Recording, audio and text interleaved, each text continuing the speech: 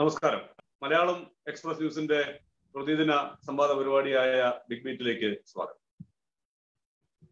പാലത്തായി പീഡന case. Police അന്വേഷണത്തെ വഴിതെറ്റിക്കുന്നു. അതാണ് ഇന്ന് ബിഗ് മീറ്റിൽ ചർച്ച ചെയ്യുന്ന വിഷയം. ബിഗ് മീറ്റിൽ അതിഥികളായുള്ളത് യൂത്ത് കോൺഗ്രസിന്റെ സംസ്ഥാന സെക്രട്ടറി എസ് സി അംഗം കൂടിയായ A M B J P D P I സംസ്ഥാന secretary Shri P K Usman അഭിഭാഷകനായ ശ്രീ വേണുഗോപാൽ ഈ ചർച്ചയിൽ നമ്മളോടൊപ്പം ഒത്തുചേരും എന്ന് പ്രതീക്ഷിക്കുന്നു. ആദ്യം ശ്രീ ശിവക്കുട്ടിയിലെ ബി ജെ പിയുടെ നേതാവായ ഒരാൾ ആരോപണ വിധേയനായി നിൽക്കുന്ന ഒരു പരാതിയാണ്.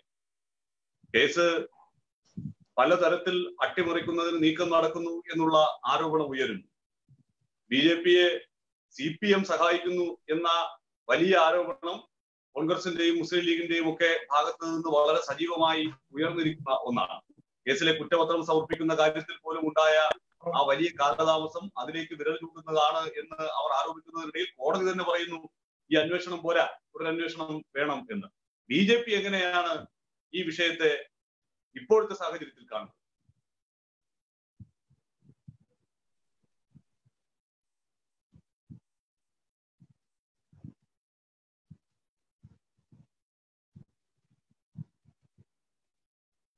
ശിവകുട്ടിയിലേക്ക് നമുക്ക് എത്താം. രോഹിത് പ്രതിപക്ഷം വളരെ സജീവമായി തന്നെ ഉയർത്തിക്കൊണ്ടുവന്ന ഒരു വലിയ ആരോപണം. അത് പോലീസ് ഈ വിഷയത്തിൽ ഒത്താശ ചെയ്തു കൊടുക്കണമെങ്കിൽ അതും എ കെ ശൈലജ ടീച്ചറുടെ മണ്ഡലമായ സി പി എമ്മിന് അത്രമേൽ വേരോട്ടമുള്ള സ്വാധീനമുള്ള ഒരിടത്ത് പോലീസുകാർ ഈ പ്രതിക്ക് രക്ഷപ്പെടാൻ വഴിയൊരുക്കുന്ന രീതിയിൽ പ്രവർത്തിക്കുന്നുണ്ട് എങ്കിൽ അതിനകത്ത് ഒരു C P M B J P ബാന്ധവം ഉണ്ടാകണം എന്നുള്ളതാണ്. പക്ഷെ അങ്ങനെ അല്ല എന്ന് ബി ജെ പി ആവർത്തിക്കുന്നതിനിടയിലും പോലീസിന്റെ ചെയ്തികൾ ആ വഴിക്ക് വിരൽ ചൂണ്ടുന്നതാണ് എന്ന് കോടതിയുടെ നിലപാടുകൾ തന്നെ തെളിയിക്കുകയും ചെയ്യും. ഇനി എങ്ങനെ ഈ വിഷയത്തെ മുന്നോട്ട് കൊണ്ടുപോകാനാണ് നിങ്ങൾ ആഗ്രഹിക്കുന്നത്?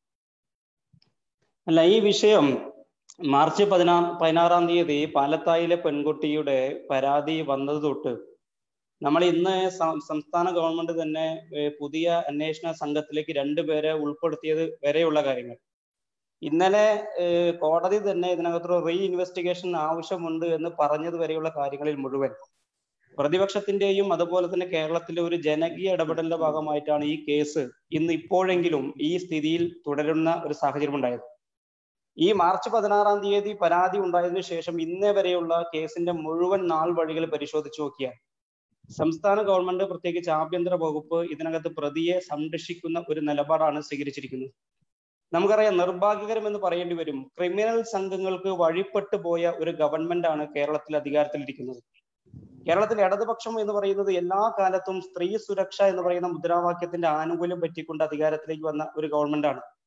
നമുക്കറിയാം വി എസ് അച്യുതാനന്ദന്റെ ഗവൺമെന്റ് അധികാരത്തിൽ വരുന്നത് കവിയൂരിലെയും കിളിലൂരിലെയും പെൺപാണിക സംഘങ്ങളെ അറസ്റ്റ് ചെയ്യുമെന്നും വി ഐ പിമാരെ എനിക്കറിയാമെന്ന് പറഞ്ഞുകൊണ്ടാണ് ആ ഗവൺമെന്റ് അല്ലെങ്കിൽ ആ അന്നത്തെ മുന്നണി വലിയ പ്രചരണം നടത്തി അതിന്റെ ആനുകൂല്യം പറ്റിക്കൊണ്ട് അച്യുതാനന്ദന്റെ ഗവൺമെന്റ് അധികാരത്തിൽ വന്നത്.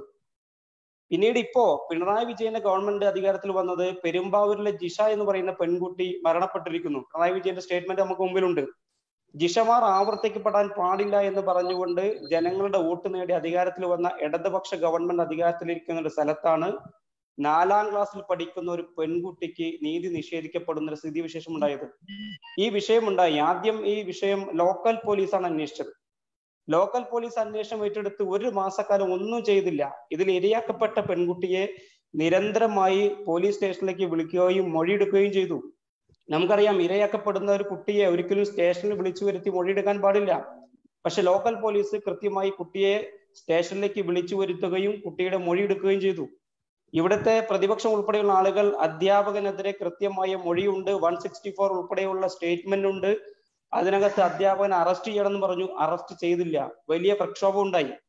ആ പ്രക്ഷോഭത്തിന് അവസാനം പ്രതിയെ അറസ്റ്റ് ചെയ്യപ്പെടേണ്ട സ്ഥിതിവിശേഷം ഉണ്ടായി. കേരളത്തിന്റെ ആരോഗ്യ വകുപ്പ് മന്ത്രി ശിശുക്ഷേമ വകുപ്പ് മന്ത്രിയോട് ഈ വിഷയത്തെ കുറിച്ച് ചോദിച്ചപ്പോൾ അവർ പറഞ്ഞ മറുപടി ആ പ്രതിയെ അറസ്റ്റ് ചെയ്തു എന്നാണ് ഞാൻ കരുതിയിട്ടുള്ളത്. നിങ്ങൾ പറയുമ്പോഴാണ് ഞാൻ അറസ്റ്റ് ചെയ്തില്ല എന്ന വിവരം അറിയുന്നത് എന്നാണ് ഒരു ആരോഗ്യ വിദ്യാഭ്യാസ മന്ത്രി എന്നതിനപ്പുറത്ത് വനിതാ ശിശുക്ഷേമം കൈകാര്യം ചെയ്യുന്ന ശൈലജ ടീച്ചറുടെ ഭാഗത്തുണ്ടായത്.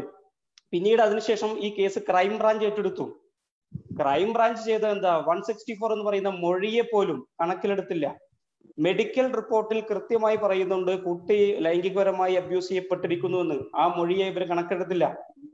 അവസാനം തൊണ്ണൂറ് ദിവസം കുറ്റപത്രം സമർപ്പിക്കേണ്ട തൊണ്ണൂറ് ദിവസത്തിൽ രണ്ട് ദിവസം മാത്രം ബാക്കി നിൽക്കുമ്പോൾ വലിയ സമ്മർദ്ദം ഉണ്ടായി വലിയ ജനകീയ സമരം ഉണ്ടായപ്പോൾ രണ്ട് ദിവസം മാത്രം ബാക്കി നിൽക്കുമ്പോൾ കുറ്റപത്രം സമർപ്പിക്കുകയാണ്. ആ കുറ്റപത്രത്തിൽ പോലും പോക്സോ എന്ന് പറയുന്ന ഏറ്റവും പ്രധാനപ്പെട്ട വകുപ്പ് ചേർക്കാതെ ജെ ജെ ബിയിലെ ആക്ടിലെ അപ്രധാനമായ വകുപ്പുകൾ ചേർത്തുകൊണ്ട് പ്രതിക്ക് ജാമ്യം കിട്ടുവാൻ വേണ്ടിയുള്ള എല്ലാ അവസരങ്ങളും ഈ ഗവൺമെന്റും അതിന് കൈകാര്യം ചെയ്യുന്ന ആഭ്യന്തര വകുപ്പും ഒരുക്കി കൊടുക്കുകയാണ്. അതിനുശേഷം നമുക്കറിയാമല്ലോ ആഭ്യന്തര വകുപ്പ് തന്നെ ഡെപ്യൂട്ട് ചെയ്തിരിക്കുന്ന ഈ അന്വേഷണ സംഘത്തിന് നേതൃത്വം കൊടുക്കുന്ന ഐ ജി ശ്രീജിത്ത് അദ്ദേഹം ഏതോ ഒരു അപരിചിതൻ ഐ ജിയെ വിളിച്ച് ഈ കേസിന്റെ കാര്യങ്ങളെ കുറിച്ച് സംസാരിക്കുമ്പോൾ ആ ഐ ജി തന്നെ കേസ് നടന്ന മുഴുവൻ കാര്യങ്ങളും വിശദീകരിക്കുകയാണ്. ഏതെങ്കിലും കേരളത്തിന്റെ ചരിത്രത്തിൽ എവിടെയെങ്കിലും കേട്ടിട്ടുണ്ടോ? അന്വേഷണവുമായി ബന്ധപ്പെട്ട് നിലനിൽക്കുന്ന കേസിന്റെ മുഴുവൻ വസ്തുതകളും ഒരു അപരിചിതന് ഐ ജി ശ്രീജിത്ത് പറഞ്ഞു കൊടുക്കുകയാണ്. കേരളത്തിന് ആഭ്യന്തര വകുപ്പ് കൈകാര്യം ചെയ്യുന്ന മുഖ്യമന്ത്രി ഈ നിമിഷം വരെ അതിനകത്തൊരു അഭിപ്രായം പറഞ്ഞിട്ടില്ല. അടിയന്തരമായി ശ്രീജിത്തിനെ ആ തലസ്ഥാനത്ത് നീക്കം ചെയ്യേണ്ടതാണ്. അന്വേഷണത്തിന്റെ പരിധിയിൽ നിന്ന് ശ്രീജിത്തിനെ മാറ്റി നിർത്തേണ്ടതാണ്. ആഭ്യന്തര വകുപ്പ് ഇതുവരെ അത് ചെയ്തിട്ടില്ല. അങ്ങനെ പരിപൂർണമായി കേസ് അട്ടിമറിക്കുന്ന സ്ഥിതിവിശേഷം ഉണ്ടായത് ജനകീയമായ ഇടപെടലുകൾ പ്രതിപക്ഷത്തിന്റെ ഇടപെടലുകളുടെ മാത്രം ഭാഗമായിട്ടാണ് ഇന്ന് ഈ കേസ് കോടതിയുടെ പോലും ഇടപെടൽ ഉണ്ടാകുന്ന സാഹചര്യം ഉണ്ടായത് പുതിയ രണ്ട് വനിതാ ഐ പി എസ് ഉദ്യോഗസ്ഥരെ അന്വേഷണ സംഘത്തിലേക്ക് നിയമിക്കേണ്ട ഘട്ടത്തിൽ പോലും സർക്കാർ എത്തി വന്ന് എത്തി നിൽക്കേണ്ടി വന്നത് ഇവിടുത്തെ പ്രതിപക്ഷവും അതുപോലെ തന്നെ ജനകീയ ഇടപെടലുമായി ബന്ധപ്പെട്ടാണ്. കൃത്യമായി കുട്ടി തന്നെ പറഞ്ഞല്ലോ ഞാൻ അധ്യാപകരിൽ നിന്ന് എനിക്ക് ഭീഷണിയുണ്ട് സ്കൂളിൽ വരാൻ പറ്റുന്നില്ല. കുട്ടിയുടെ സഹപാഠി പറഞ്ഞു ഈ മൊഴികളൊന്നും കണക്കിലെടുക്കുന്നില്ല. വൺ സിക്സ്റ്റി ഫോർ എന്ന് പറയുന്നത് ഏറ്റവും പ്രധാനപ്പെട്ട മൊഴിയാണ്. ആ മൊഴി കണക്കിലെടുക്കുന്നില്ല. മെഡിക്കൽ റിപ്പോർട്ട് കണക്കിലെടുക്കുന്നില്ല. അങ്ങനെ എല്ലാം കൊണ്ടും ഒരു വാളയാറിന് സമാനമായി പ്രതികളെ രക്ഷപ്പെടുത്തുന്ന ഒരു ഭരണകൂടമായി കേരളത്തിനകത്ത് ഇടതുപക്ഷ ഗവൺമെന്റ് മാറുകയാണ്. ഇവിടെ ഐ ജി ശ്രീജിത്തിനെ ഈ നിമിഷം നമ്മുടെ ഈ ചർച്ച നടക്കുന്ന ഈ സമയം വരെയുമായിട്ട് അന്വേഷണ സംഘത്തിന് മാറ്റിയിട്ടില്ല. ഇത് തന്നെയാണ് വാളയാറിലും ആവർത്തിച്ചത്. അവിടെ ഡിവൈഎസ്പി പറഞ്ഞത് ഉഭയകക്ഷി സമ്മതത്തോട് കൂടിയിട്ടാണ് അവിടെ ലൈംഗികപരമായിട്ടുള്ള ഇടപെടൽ ഉണ്ടായതെന്നാണ് അന്ന് ഡിവൈഎസ്പിയുടെ അന്നത്തെ പ്രസ്താവന. ആ ഡിവൈഎസ്പി ഇന്ന് എസ് പി ആയിട്ട് ഈ സംസ്ഥാനത്തിന്റെ ആഭ്യന്തര വകുപ്പിലുണ്ട്. അങ്ങനെ ഇത് ആവർത്തിക്കപ്പെട്ടുകൊണ്ടിരിക്കുകയാണ്. അന്വേഷണ ഉദ്യോഗസ്ഥർ തന്നെ ഇരയെ വേട്ടയാടുന്ന സ്ഥിതിവിശേഷമാണ് ഏറ്റവും ഗുരുതരമായ അവസ്ഥയാണ് കേരളത്തിൽ നിലനിൽക്കുന്നത്. ഇപ്പൊ കോടതിയുടെ ഒരു ഇടപെടൽ ഉണ്ടായി എന്നത് മാത്രമാണ് ഈ വിഷയത്തിനകത്ത് കേരളത്തിന്റെ പൊതുമനസാക്ഷിക്ക് ആശ്വാസം നൽകുന്ന വാർത്ത. ശിവൻകുട്ടി ഞാൻ നേരത്തെ ചോദിച്ച ചോദ്യം കേട്ടിട്ടുണ്ടാവുമോ എന്നറിയില്ല. എന്തായാലും ഈ വിഷയത്തിൽ ഉയരുന്ന ഒരു വലിയ ആരോപണം.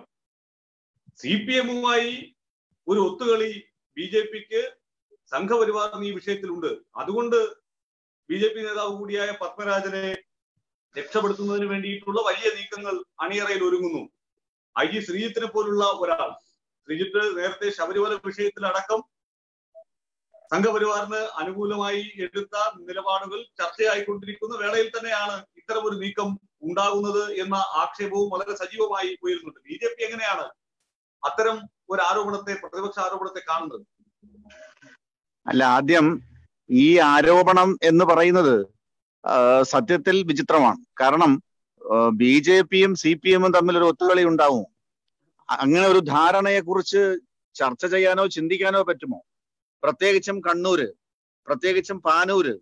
അപ്പോ ഈ സംഭവം നടന്നത് എപ്പോഴാ? ഇത് ജനുവരിയിൽ നടന്നു എന്നാണ് പറയപ്പെടുന്നത്. ജനുവരിയിൽ നടന്നു എന്ന് പറയപ്പെടുന്ന ഈ വിവാദപരമായ ഈ സംഭവം. ഇത് മാർച്ച് പതിനേഴിനാണ് താനൂർ പോലീസ് സ്റ്റേഷനിൽ ഇതിന്റെ പരാതി വരുന്നത്. അപ്പോ ഇത് ജനുവരിയിൽ നടന്നിട്ടുള്ള ഈ സംഭവം മാർച്ചിലാണ് ഇതിനെ സംബന്ധിച്ച് പരാതി വരുന്നത്. അവിടെ ഈ അധ്യാപകനെ അധ്യാപകന്റെ പേരിൽ ഒരു കള്ളക്കേസ് ഉണ്ടാക്കി എന്നുള്ളതാണ് ഞങ്ങൾ മനസ്സിലാക്കുന്നത്. കാരണം ഇത് പകൽ സംഭവിച്ചിട്ടുള്ള കാര്യമാണ് എന്നാണ് പറയപ്പെടുന്നത്. ഇതിനകത്ത് ഈ ഈ ടോയ്ലറ്റിനെ തന്നെ സംബന്ധിച്ച് പറയുന്നത് അത് ഓപ്പൺ ആയിട്ടുള്ള ഒരു ടോയ്ലറ്റ് ആണ് ആ ഓപ്പൺ ആയിട്ടുള്ള ഒരു ടോയ്ലറ്റിൽ ഒരു ഒരു ആരും കാണാതെ ഒരു വാതിൽ എന്തോ ഉണ്ട് അത് ചാരി വെച്ചിട്ടുണ്ട് എന്നൊക്കെയാണ് പറയപ്പെടുന്നത്. അപ്പോ ഇതിനകത്തുള്ള ഒരു സംഭവം എന്ന് പറയുന്നത് ഇതിന്റെ യാഥാർത്ഥ്യം എന്താണ് എന്നുള്ളതാണ് ഏറ്റവും പ്രധാനപ്പെട്ട പ്രശ്നം. ആരാരെ സംരക്ഷിക്കുന്നു എന്നല്ല. ഇതിന്റെ യാഥാർത്ഥ്യം കണ്ടുപിടിക്കണം. ഇത് പോലീസിന്റെ ചുമതലയാണ്. അന്വേഷണ ഉദ്യോഗസ്ഥന്റെ ചുമതലയാണ്. ഞങ്ങൾ ഈ സംഭവത്തിന്റെ യാഥാർത്ഥ്യം പുറത്തു കൊണ്ടുവരണം എന്ന് മാത്രമേ ഞങ്ങൾക്ക് അഭിപ്രായമുള്ളൂ. പ്രത്യേകിച്ചും ഒരു ബാലികയ്ക്കാണ് ഒരു പെൺകുട്ടി ഞാൻ- ഒന്ന് ഇടപെട്ടോട്ടെ? ശിവകുട്ടി ഇതിനകത്ത് ഇതിനകത്ത് മൊഴി അത് വളരെ പ്രധാനമാണല്ലോ. എന്തായാലും നാലാം ക്ലാസ്സിൽ പഠിക്കുന്ന ഒരു കുട്ടി ഈ ഒരാളിനെ ബോധപൂർവം കൊടുക്കുന്നതിന് വേണ്ടി ഒരു കാര്യം ചെയ്യില്ലല്ലോ പപ്പൻ മാഷ് നിരന്തരമായി ഉപദ്രവിക്കാറുണ്ടായിരുന്നു എന്ന് ആ കുട്ടി പറയുന്നുണ്ട്. ആ കുട്ടിയുടെ സഹപാഠികൾ പറയുന്നുണ്ട്. ഞങ്ങളെയും പലപ്പോഴും ഉപദ്രവിക്കാൻ ശ്രമം നടത്തിയിട്ടുണ്ട് എന്ന് അതിലെ പല കുട്ടികളും ആ കുട്ടിയുടെ കൂട്ടുകാരികൾ പറഞ്ഞിട്ടുണ്ട് എന്നുള്ളതാണ്. അപ്പോഴും നിങ്ങൾ പറയുന്നത് യാഥാർത്ഥ്യം പുറത്തു വരട്ടെ യാഥാർത്ഥ്യം പുറത്തു വരട്ടെ എന്നുള്ളതാണ്. അത് മാത്രമല്ല കാര്യം ശിവക്കുട്ടി തുടങ്ങി വെച്ച ഒരു കാര്യമുണ്ട്. B J P B J പിയും സി പി എമ്മുമായി ഒരു ബന്ധം എന്നുള്ളതിനെ കുറിച്ച് കണ്ണൂരൊക്കെ ആലോചിക്കാൻ പറ്റുമോ എന്നൊക്കെ ഉള്ളതാണ്. അതൊക്കെ ചരിത്രം പരിശോധിച്ചു കഴിഞ്ഞാൽ അങ്ങനെയുള്ള ബന്ധങ്ങളൊക്കെ ഉണ്ടായിട്ടുണ്ട് എന്നുള്ളതും നമുക്കറിയാം. ഇനി അങ്ങനെ ബന്ധം ഉണ്ടായിക്കൂടാ എന്ന് ചിന്തിക്കാനും കഴിയുന്ന രാഷ്ട്രീയ സാഹചര്യമല്ല നമ്മൾ അല്ല, അതെ. ചിന്തിക്കാനേ പാടില്ല. അത് ചർച്ച ചെയ്യാനേ പാടില്ല എന്ന് ഒരു മനോഭാവം ഉണ്ടാകരുത്. അല്ല ഇതിനകത്തൊരു കാര്യം ഞാൻ ചോദിക്കട്ടെ. ഈ വിഷയത്തിൽ എന്തിനാണ് ധാരണയുടെ പ്രശ്നം? ഈ വിഷയത്തിൽ എന്തിനാണ് ഒത്തുകളിയുടെ പ്രശ്നം വരുന്നത്? ഞങ്ങൾ വളരെ വ്യക്തമായി പറയുകയല്ലേ അന്വേഷിക്കേണ്ടത് സംസ്ഥാന സർക്കാരും സംസ്ഥാന സർക്കാരിന്റെ പോലീസുമാണ്. അന്വേഷിച്ചോട്ടെ സത്യാവസ്ഥ പുറത്തു കൊണ്ടുവരട്ടെ പ്രതി ആരാണെന്ന് കണ്ടുപിടിക്കട്ടെ കുട്ടിയുടെ പരാതി എന്താണെന്ന് ഗൗരവമായി കാണുകയും കേൾക്കുകയും ചെയ്യട്ടെ. ഞങ്ങൾക്ക് അതിനകത്തൊന്നും ഒരു അഭിപ്രായ വ്യത്യാസവുമില്ല. ഇത് അന്വേഷിക്കണം അതിന്റെ പൂർണത വരണം എന്ന് മാത്രമാണ് ഇതിന്റെ പിന്നിലുള്ള ഏറ്റവും കാരണം ഇതൊരു പെൺകുട്ടിയുടെ വിഷയമാണ്. ഒരു നാലാം ക്ലാസ്സുകാരിയുടെ നാലാം ക്ലാസ്സിൽ പഠിക്കുന്ന ഒരു കുട്ടിയുടെ വിഷയമാണ്. ഇത് ആർക്കുമാകാം ഇത് നാളെ ഏത് പെൺകുട്ടിക്കും സംഭവിക്കാം. ഒരു കാരണവശാലും ഇതുപോലെയുള്ള സംഭവത്തിൽ ഒരു പ്രതിയും രക്ഷപ്പെട്ടുകൂടാ അവിടെ ബി ജെ പിയോ സി പി എമ്മോ എസ് ഡി പി എന്നുള്ളതൊന്നും അല്ല വിഷയം. ഞങ്ങൾ വളരെ വ്യക്തമായി ഞങ്ങളുടെ ഭാഗം നേരത്തെയും പറഞ്ഞിട്ടുണ്ട്. ഞങ്ങൾ വീണ്ടും ആവർത്തിക്കുന്നു ഈ കേസിനെ സംബന്ധിച്ച് പൂർണമായ അന്വേഷണം നടത്തി അതിന്റെ യാഥാർത്ഥ്യം പുറത്തു കൊണ്ടുവരണം എന്നുള്ളതാണ് നമ്പർ വൺ. മറ്റൊന്ന് ഈ സംഭവത്തിന്റെ പോലുള്ള S D P S D P ആണ് ഈ കുട്ടിയെ വിളിച്ചുകൊണ്ടു പോകുന്നതും പോലീസ് സ്റ്റേഷനിൽ പരാതി കൊടുക്കുന്നതും എന്ന് അതിന്റെ കൂത്തുപറമ്പ് മണ്ഡലം പ്രസിഡന്റ് എസ് ഡി പി ഐയുടെ കൂത്തുപറമ്പ് മണ്ഡലം പ്രസിഡന്റ് പുറപ്പെടുവിച്ച വീഡിയോ ദൃശ്യങ്ങൾ വളരെ വ്യക്തമാണ്. അപ്പോ ഇത് എസ് ഡി പി ഐ ആണ് ഇതിന്റെ പിന്നിൽ നിന്നുകൊണ്ട് ഈ കാര്യങ്ങളൊക്കെ ചെയ്യുന്നത്. അവർക്ക് കൊടുക്കാമല്ലോ. എന്താണ് ഇതിന്റെ യാഥാർത്ഥ്യം എന്നുള്ളത് അവർക്ക് പറയാമല്ലോ. യാഥാർത്ഥ്യമാണല്ലോ പുറത്തു വരേണ്ടത്. യാഥാർത്ഥ്യം പുറത്തു വരിക എന്നുള്ളത് അനിവാര്യമായ സംഭവമല്ലേ? ഇവിടെ ആരാരെ സംരക്ഷിക്കുന്നു? ആരാർക്ക് വേണ്ടി സംരക്ഷിക്കപ്പെടുന്നു? ഇവിടെ സി പി എമ്മുമായിട്ട് ആർക്കാണ് ബന്ധം എന്ന് പറയുന്നത്? ഞാൻ ചോദിക്കട്ടെ സി പി എം അടക്കം ഞങ്ങളെ ഈ കേസിൽ പ്രതിയാക്കാനും ബി ജെ പിയെ കരുവേച്ച് കാണിക്കാനും അങ്ങേയറ്റം പരിശ്രമവുമല്ലേ താനൂർ നടത്തിക്കൊണ്ടിരിക്കുന്നത്? സി പി എമ്മിന്റെ ജില്ലാ നേതാവ് മുൻ ജില്ലാ സെക്രട്ടറി ജയരാജന്റെ വീഡിയോ ദൃശ്യങ്ങൾ വളരെ വ്യക്തമാണല്ലോ. അപ്പൊ ഇതൊക്കെ നിലനിൽക്കുന്ന കാര്യങ്ങളാണല്ലോ. ഇത് അന്വേഷിക്കേണ്ടത് ആരാണ്? അന്വേഷിക്കേണ്ടത് ഈ സംസ്ഥാന സർക്കാരല്ലേ? ഞങ്ങളല്ലല്ലോ. ഞങ്ങൾ ഞങ്ങൾ ഞങ്ങൾ പറഞ്ഞല്ലോ. ആരെയും രക്ഷിക്കേണ്ട ആരെയും അതിൽ നിന്ന് സംരക്ഷിക്കപ്പെടാൻ ഞങ്ങൾ അഭിപ്രായപ്പെടുന്നില്ല. ഒറ്റ കാര്യം ഞങ്ങൾ പറയുന്നുള്ളൂ. ഈ പെൺകുട്ടിക്ക് നീതി കിട്ടണം. ഈ പെൺകുട്ടിക്ക് നീതി കിട്ടാൻ എന്താണോ പോലീസിന് ചെയ്യേണ്ടത്? പോലീസ് ചെയ്യണം അന്വേഷണം നടത്തണം. അന്വേഷണം നടത്തിയിട്ട് അത് വേണ്ട വിധത്തിൽ കൈകാര്യം ചെയ്യേണ്ടതിന്റെ ചുമതല പോലീസിനാണ്. ആ പോലീസ് ചെയ്യണം. അത് ഗവൺമെന്റ് നിർവഹിക്കണം. ഇവിടെ കോടതിയുണ്ട് നിയമമുണ്ട്. പോലീസ് അത് ചെയ്യുന്നില്ല എന്നുള്ള ഒരു യാഥാർത്ഥ്യമുണ്ട്. അത് കോടതി പോലും വീണ്ടും പറയേണ്ടുന്ന സാഹചര്യവും ഉണ്ട്. ഏതായാലും നമ്മൾ ബന്ധപ്പെട്ട സി പി എം പ്രതിനിധികൾ ആരും ഈ ഒരു വിഷയത്തിൽ പ്രതികരിക്കാൻ തയ്യാറായില്ല ചർച്ചയ്ക്ക് വരാൻ തയ്യാറായില്ല എന്നൊരു പ്രശ്നമുള്ളത് കൊണ്ട് അവരുടെ ഒരു വെർഷൻ തൽക്കാലം നമുക്ക് എടുക്കുക സാധ്യമല്ല. ശ്രീ പി കെ ഉസ്മാനിലേക്കാണ്. ഇവിടെ വളരെ ശ്രദ്ധേയമായ ഒരു കാര്യം സി പി എമ്മിന്റെ കണ്ണൂർ ജില്ലാ സെക്രട്ടറി പറയുന്ന ഒരു കണ്ണൂർ ജില്ലാ സെക്രട്ടറി ആയിരുന്നു ശ്രീ പി ജയരാജൻ തന്നെ പറയുന്ന ഒരു കാര്യം. ഇവിടെ എസ് ഡി പി ഐ ഈ കേസ് അട്ടിമറിക്കാൻ ശ്രമിക്കുന്നുള്ളതാണ് എസ് ഡി പി ഐക്ക് ആർ എസ് എസുമായും ആർ എസ് എസ് നേതാക്കളുമായും ഒക്കെ ഈ വിഷയത്തിൽ എന്തൊക്കെയോ ബന്ധമുണ്ട് എന്നുള്ളതാണ്. നേരത്തെ ശ്രീ ശിവകുട്ടി പറഞ്ഞതുപോലെ ഇതിനകത്ത് ആരും ആരും തമ്മിൽ ഒരു ധാരണ ഉണ്ടാകേണ്ട കാര്യമൊന്നുമല്ല. ഇത് കേരളത്തിന്റെ മനസാക്ഷിയെ ഞെട്ടിച്ച ഒരു സംഭവമാണ്. ആ സംഭവത്തിൽ അത്തരത്തിലുള്ള ഒരു ദുരൂഹമായ രാഷ്ട്രീയ ഇടപെടലുകളും ഉണ്ടാകാൻ പാടില്ല എന്ന് കേരളം ചിന്തിച്ചുകൊണ്ടിരിക്കുന്നിടത്ത് അത്തരത്തിലുള്ള ആരോപണങ്ങളും ഉയരുന്നു.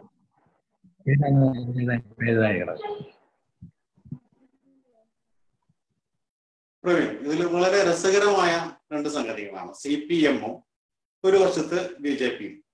ബി ജെ പി പറയുന്നത് ഇപ്പൊ ബി ജെ പിയുടെ പ്രതിനിധി ഇവിടെ പറഞ്ഞു. ബി ജെ പിക്കാര് കൊടുക്കുന്നതിന് വേണ്ടി ബോധപൂർവം എസ് പി ഐ കെട്ടിച്ചമച്ചൊരു കഥയാണ് എന്ന ഒരു തിരക്കഥയാണ് ബി ജെ പിക്ക് ഉള്ളത് സി പി എമ്മിന് നേരെ തിരിച്ചാണ്. ബി ജെ പിയെ രക്ഷപ്പെടുത്തുന്നതിന് വേണ്ടി എസ് ഡി പി ഐ ഇടപെട്ടു എന്നാണ് സി പി എം ആരോപിക്കുന്നത്. ഇതിൽ രണ്ടിലും പ്രകടമായ വൈരുദ്ധ്യങ്ങളുണ്ട്. ഇവിടെ എനിക്ക് മുമ്പ് സംസാരിച്ച രോഹിത് വളരെ കൃത്യമായിട്ട് കേസിന്റെ നാൾവഴികൾ പറഞ്ഞു. അതിൽ പോലീസിന്റെ പറ്റിയ വീഴ്ചകളെ കുറിച്ച് പറഞ്ഞു. അത് ആദ്യമായിട്ടല്ല പിണറായി സർക്കാർ അധികാരത്തിൽ വന്നതിന് ശേഷം. ഒരു വ്യക്തിയുടെ പേര് പറഞ്ഞുകൊണ്ട് തന്നെ ഒരു ഇടതുപക്ഷ സർക്കാരിനെ ആ- രീതിയിൽ പരിചയപ്പെടുന്നത് തന്നെ ഇപ്പോഴാണ്. നിലയ്ക്ക് കടക്കുന്നില്ല. പിണറായി വിജയൻ അധികാരത്തിൽ വന്നതിന് ശേഷം നടന്നിട്ടുള്ള ആർ എസ് എസുകാര് പ്രതിയായി വന്നിട്ടുള്ള മുഴുവൻ കേസുകളിലും ഈ ഒരു മൃദു സമീപനം സ്വീകരിച്ചിട്ടുണ്ട്. അതോടൊപ്പം തന്നെ വളരെ ഗൗരവരമായി നമ്മൾ കാണേണ്ടത് സി പി എമ്മിന്റെ സംസ്ഥാന സെക്രട്ടറി കോടിയേരി ബാലകൃഷ്ണൻ പോലീസിനുള്ളിൽ ആർ എസ് എസിന്റെ സെല്ല് വളരെ കൃത്യമായി വർക്ക് ചെയ്യുന്നുണ്ട് എന്ന് പറഞ്ഞിട്ടുള്ളതാണ്. എന്തോ പിണറായി വിജയൻ ഇതിനെ ബ്ലാക്ക്മെയിൽ ചെയ്തുകൊണ്ട് ഒരു ഭരണമാണ് നടക്കുന്നത് കാണാൻ സാധിക്കും. തമിഴ്നാട്ടിൽ ബി ജെ പിക്ക് വലിയ റോളൊന്നുമില്ല. പക്ഷെ ബി ജെ പി തീരുമാനിക്കുന്നത് പോലെയാണ് തമിഴ്നാട്ടിൽ കാര്യങ്ങൾ നടക്കുന്നത്. നോക്കൂ നിങ്ങൾ ഇവിടെ ഡിവൈഎഫ്ഐയുടെ ആളുകൾ കേരളത്തിലുടനീളം ഇസ്രത്ത് ജഹാൻ കേസിൽ അമിത്ഷയെ കുറ്റവിമുക്തനാക്കുന്നതിന് വേണ്ടി ഇടപെട്ട വ്യക്തിയാണ് ലോക്നാഥ് ബെഹ്റ എന്ന് പറഞ്ഞ് പ്രചരണം നടത്തിയ ആളുകളാ കേരളത്തിൽ. ആ ബെഹ്റയെ ഡി ജി പി ആയി വരുന്നത് മന്ത്രിസഭയിൽ വരെ കൂടിയാലോചിച്ചിട്ടില്ല എന്ന് സി പി ഐ ഇടതുപക്ഷത്തിലെ പ്രമുഖ മറ്റൊരു ഘടകക്ഷിയെ സി പി ഐ ആണ് ആരോപണം ഉന്നയിച്ചിട്ടുള്ളത്. അതിനുശേഷം കേരളത്തിൽ തന്നെ വളരെ പ്രമാദമായ സിറാജുന്നിസ വധക്കേസിൽ ആരോപണ വിധേയനായിട്ടുള്ള രമൺ ശ്രീവാസ്തവയെ വീണ്ടും ഒരു സംഘപരിവാറിനോട് ഒട്ടി നിൽക്കുന്ന ആളാണ് എന്ന് കേരളത്തിൽ പ്രൂവ് ചെയ്തിട്ടുള്ള ഇതേപോലെ സി പി എമ്മിന്റെയും ഡിവൈഎഫ്ഐയുടെയും ആളുകൾ സമരം ചെയ്തിട്ടുള്ള രമൺ ശ്രീവാസ്തവക്കെതിരായിട്ട് സമരം ചെയ്തിട്ടുണ്ട്. അങ്ങനെയുള്ള ഒരു സംഘപരിവാറിന്റെ ഉറ്റി നിൽക്കുന്നതിന് അവരോട് ചേർന്ന് നിൽക്കുന്നതിന് കേരളത്തിൽ സാക്ഷ്യം വഹിച്ചിട്ടുള്ള രമൺ ശ്രീവാസ്തവയെ പോലീസിന്റെ ഉപദേവ ഉപദേഷ്ടാവായിട്ട് കൊണ്ടുവരികയാണ്. കേരളത്തിൽ കാസർഗോഡും കണ്ണൂർ ഉൾപ്പെടെയുള്ള പല പ്രദേശങ്ങളിലും ആർ എസ് ഐ പ്രതികളായിട്ട് കേസുണ്ടായിട്ടുണ്ട്. ഫഹദ് എന്ന് പറയുന്ന ചെറിയൊരു കുട്ടിയെ ആർ എസ് എസ്സുകാരൻ ശശികലയുടെ പ്രസംഗം കേട്ടതിൽ നിന്ന് പ്രചോദനം ഉൾക്കൊണ്ട് ആ കുട്ടിയെ കൊന്നു. എന്ത് നടപടിയാണ് ഉണ്ടായിട്ടുള്ളത്? അദ്ദേഹത്തിന്റെ മാനസിക രോഗിയാണ് എന്ന് സർട്ടിഫിക്കറ്റ് കൊടുക്കുകയാണ് ചെയ്തിട്ടുള്ളത് പോലീസ്. അതിനുശേഷം ഇതേ കണ്ണൂർ ജില്ലയിൽ റിയാസ് മൗലവിയെ വീടിനുള്ളിൽ കയറി പള്ളിക്കുള്ളിൽ കയറിയിട്ട് ആക്രമിച്ചു. വർഗീയ കലാപം സൃഷ്ടിക്കുന്നതിന് വേണ്ടിയാണ് അതിന് ഗൂഢാലോചന നടന്നിട്ടുണ്ട് എന്ന് നിയമസഭയിൽ അന്ന് മുഖ്യമന്ത്രി പറഞ്ഞിട്ടുണ്ട് ആഭ്യന്തരമന്ത്രി പറഞ്ഞിട്ടുണ്ട്. പക്ഷേ ആ ഗൂഢാലോചന കേസുകൾ ഉണ്ടായിട്ടില്ല. കേരളത്തിലുടനീളം ആർ എസ് എസുകാര് പ്രതിയായി വരുന്ന കേസുകളിൽ ഗൂഢാലോചനകൾ സംഭവിക്കുന്നില്ല. പോലീസ് ക്ലീൻ ചീറ്റ് കൊടുക്കുകയാണ്. ഇതൊരു തുടർച്ചയാണ്. അതിന്റെ അവസാനത്തെ ഉദാഹരണമാണ് നമ്മളിവിടെ കണ്ടിട്ടുള്ളത്. ഇവിടെ സൂചിപ്പിച്ചല്ലോ വളരെ കൃത്യമായി പെൺകുട്ടി പീഡിപ്പിക്കപ്പെട്ടു. പരാതി കൊടുത്തു ഒരു നടപടികൾ ഉണ്ടാക്കുന്നില്ല കേരളത്തിൽ അതിശക്തമായ പ്രതിഷേധങ്ങൾ നടക്കുന്നു. ചില ചാനലുകൾ അതിനെ ഹൈലൈറ്റ് ചെയ്ത് കൊണ്ടുവന്നതിന്റെ അടിസ്ഥാനത്തിലാണ് ഇങ്ങനെ ഒരു കേസ് എടുക്കുന്ന സമ്മർദ്ദം ഉണ്ടാകുന്നത് ഒരു പ്രതിയെ ഒരു പോക്സോ കേസിലെ പ്രതിയെ ഒളിവിൽ താമസിപ്പിച്ചു. അവർക്കെതിരെ അറസ്റ്റ് നടന്നിട്ടുണ്ടോ കേരളത്തിൽ? അവരിതിൽ പ്രതി ഏർക്കപ്പെട്ടിട്ടുണ്ടോ ഈ കുട്ടിയുടെ ഉമ്മയുടെ മൊഴിയുണ്ട്. പരാതി കൊടുത്തതിൽ പറയുന്നുണ്ട്. ഈ കുട്ടിയുടെ മൊഴിയിൽ പറയുന്നുണ്ട്. എന്നെ ഈ പത്മരാജൻ എന്ന് പറയുന്ന? അതിന് അധ്യാപകൻ എന്നെ മറ്റൊരു ബി ജെ പിക്കാരനെ കൊണ്ട് കാഴ്ചവെച്ചു എന്ന് പറയുന്നുണ്ട്. കുട്ടിയുടെ മാതാവ് പറയുന്നുണ്ട് ആ കേസ് എടുത്തിട്ടുണ്ടോ? ബോക്സ് ചുമത്താൻ തീയതിയിലെ മാറ്റങ്ങൾ വന്നു. രോഹിത് അതോട് സൂചിപ്പിച്ചു നിയമവിദഗ്ധന്മാരും വക്കീലന്മാരും ഒക്കെ വളരെ കൃത്യമായിട്ട് പറയുന്നത് എന്താ? അങ്ങനെ പതിനാല് പതിനെട്ട് വയസ്സിന് താഴെയുള്ള ഒരു പെൺകുട്ടി ഇങ്ങോട്ട് ഇങ്ങനെ ഡേറ്റുകൾ മാറ്റി പറയുന്നത് കൊണ്ട് ബോക്സ് ചുമത്തതിന് തടസ്സമില്ല. മാത്രമല്ല നിയമവകുപ്പിന്റെ ഉപദേശം കിട്ടിയല്ലോ. ബോക്സ് ചുമത്താൻ വേണ്ടിയിട്ട് എന്നിട്ടും എന്തുകൊണ്ട് ചുമത്തിയില്ല എന്ന് നമ്മൾ അന്വേഷിക്കുമ്പോൾ അത് സർക്കാരിനെതിരായിട്ടുള്ള വ്യാപകമായ ഒരു പ്രതിഷേധം. ലോക്ക്ഡൌൺ ആണെങ്കിലും സോഷ്യൽ മീഡിയയിലൂടെ നിങ്ങൾ കണ്ടിട്ടുണ്ടാവും. വളരെ വ്യാപകമായ പ്രതിഷേധം നടന്നു. അതിൽ നിന്ന് മാറി നിൽക്കാൻ കഴിയുന്നില്ല. കൃത്യമായ ഒരു മറുപടി പറയാൻ സി പി എമ്മിന് കഴിയുന്നില്ല.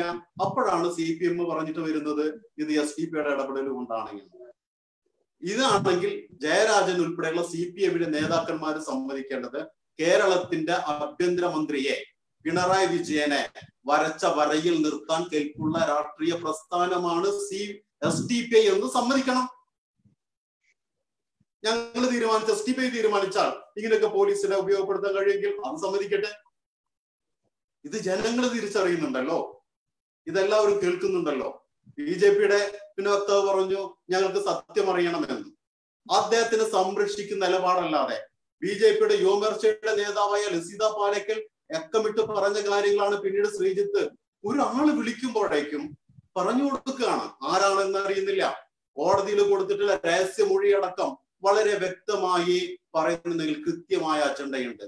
അത് സി പി എം അധികാരത്തിൽ കയറിയതിന് ശേഷം വളരെ വ്യക്തമായി ഈ ആർ എസ് എസ് അനുകൂല നിലപാട് നമുക്ക് കാണാൻ സാധിക്കും.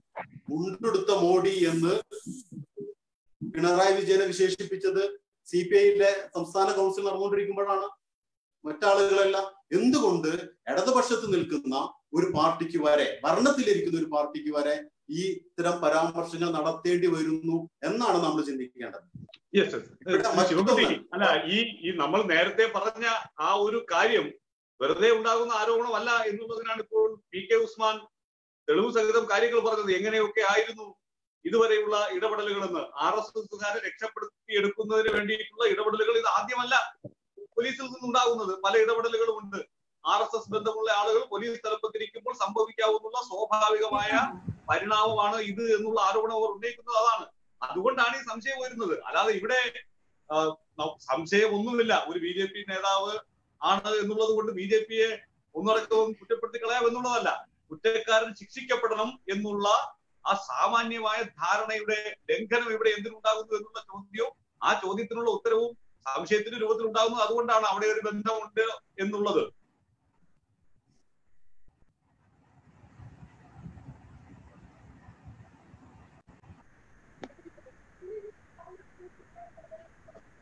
ശ്രീ ശിവകുട്ടി. ആ ഞാൻ കേട്ടു. ഞാനേ അപ്പോ ഞാൻ ഇതിനെ സംബന്ധിച്ചിട്ട് ഞാൻ വളരെ വ്യക്തമായി നേരത്തെ സൂചിപ്പിച്ചല്ലോ. ഇതിനകത്ത് രാഷ്ട്രീയമൊന്നുമല്ല ഇതിന് ഈ എന്നുള്ള ഒരു അഭിപ്രായവും വ്യക്തിപരമായി എനിക്കുണ്ട്. കാരണം ഇതൊരു പെൺകുട്ടിയെ പീഡിപ്പിച്ച സംഭവമാണ്. പെൺകുട്ടിയെ പീഡിപ്പിച്ച സംഭവത്തിന്റെ യാഥാർത്ഥ്യം പുറത്തുകൊണ്ടുവരണം. ഞാൻ ഇതൊരു കാര്യം ചോദിക്കുന്നത് ഇത് ജനുവരിയിൽ നടന്ന സംഭവം എന്നാണ് പറയപ്പെടുന്നത്. എന്തുകൊണ്ട് മാർച്ച് വരെ ഇത് വെയിറ്റ് ചെയ്തു? ജനുവരി ഫെബ്രുവരി മാർച്ച് പതിനേഴിനാണ് ഈ കേസ് കൊടുക്കുന്നത്. രണ്ട് രണ്ടേകാൽ മാസം ഈ കേസ് കൊടുക്കാതെ എന്തുകൊണ്ട് വച്ചുകൊണ്ടിരിക്കുന്നു? ഇത് എന്താ ഇതിന്റെ സംഭവത്തിന്റെ യാഥാർത്ഥ്യം? ഇത് ഞാൻ ഞാൻ മാധ്യമങ്ങൾ ഉൾപ്പെടെ ഈ കാര്യത്തെക്കുറിച്ച് അന്വേഷിക്കണം. ഞാൻ പറയുന്നത് വളരെ വ്യക്തമായി തന്നെയാണ് പറയുന്നത്. ഞങ്ങൾക്ക് ഇതിനകത്ത് രാഷ്ട്രീയത്തെക്കാൾ പ്രധാനം ഈ പെൺകുട്ടി പീഡിപ്പിക്കപ്പെട്ട സംഭവം കൃത്യമായ അന്വേഷണത്തിലൂടെ യാഥാർത്ഥ്യം പുറത്തു വരണം. അത് ആരായിരുന്നാലും ശരി ശിക്ഷിക്കപ്പെടേണ്ടവൻ ശിക്ഷിക്കപ്പെടണം. അക്കാര്യത്തിലൊന്നും ഞങ്ങൾക്ക് അഭിപ്രായ വ്യത്യാസമില്ല. ഞങ്ങൾ ഇക്കാര്യത്തിൽ സി പി എമ്മിന്റെ സഹായമോ അല്ലെങ്കിൽ ഞങ്ങൾക്ക് എസ് ഡി പിയുടെ സഹായമോ ഇതൊന്നുമല്ല. ഈ വിഷയത്തിൽ ഒരു ധാർമ്മികതയുണ്ട്. അവിടെ രാഷ്ട്രീയമല്ല. അവിടെ ആരെങ്കിലും രാഷ്ട്രീയം പറയുന്നുണ്ട് എങ്കിൽ അത് അവരുടെ അവരുടെ രാഷ്ട്രീയത്തിൽ ഉദിച്ചുയരുന്ന ഒരു രാഷ്ട്രീയ സംസ്കാരമില്ലായ്മയാണ് എന്നാണ് ഞാൻ വിശ്വസിക്കപ്പെടുന്നത്. ഇവിടെ വളരെ വ്യക്തമായി ഞങ്ങൾ പറയുന്നു ഒരു പെൺകുട്ടി പീഡിപ്പിക്കപ്പെട്ട സംഭവം. ആ പെൺകുട്ടി പീഡിപ്പിക്കപ്പെട്ട സംഭവത്തിനെ ഇത് ഇത്രത്തോളം വിവാദപരമാക്കേണ്ട ഒരു സാഹചര്യമില്ല. പോലീസിന് വ്യക്തമായി അന്വേഷിക്കാം. ഇവിടെ പോലീസ് വ്യക്തമായി അന്വേഷിച്ച് അതിന്റെ യാഥാർത്ഥ്യം പുറത്തു കൊണ്ടുവരട്ടെ തെളിവ് കൊടുക്കാൻ കഴിയാവുന്നവർക്ക് തെളിവ് കൊടുക്കട്ടെ? വ്യക്തതയാണ് ഇവിടെ ആവശ്യം. ഇവിടെ വെറുതെ ബി ജെ പിയെ കരുതേച്ച് കാണിക്കുകയോ അല്ലെങ്കിൽ മറ്റ് പ്രസ്ഥാനങ്ങളെ വലിച്ചിഴയ്ക്കുകയോ അല്ല ഇതിനകത്ത് വേണ്ടത്. ഇതൊരു സംഭവം ഈ ഒരു സംഭവം എന്ന് പറഞ്ഞാൽ കേരളത്തെ ഞെട്ടിക്കുന്ന സംഭവമാണ്. മലയാളി സമൂഹത്തിന് മുഴുവൻ അപമാനം ഉണ്ടാക്കുന്ന സംഭവമാണ്. ഞാൻ വളരെ വ്യക്തമായി വേദനയോടുകൂടി സങ്കടത്തോടുകൂടി പറയുകയാണ്. ഞങ്ങൾ ഇതിനെ അനുകൂലിക്കുന്നില്ല ന്യായീകരിക്കുന്നില്ല. ഞങ്ങൾക്ക് ശക്തമായ നിലപാട് ഇക്കാര്യത്തിലുണ്ട്. അതുകൊണ്ട് തന്നെയാണ് ഞാൻ ആവർത്തിക്കുന്നത്. ഇവിടെ രാഷ്ട്രീയത്തെക്കാൾ പ്രധാനം ഈ പെൺകുട്ടി പിടിക്കപ്പെട്ട സംഭവത്തിന്റെ ഉത്തരവാദികളെ കണ്ടെത്തണം.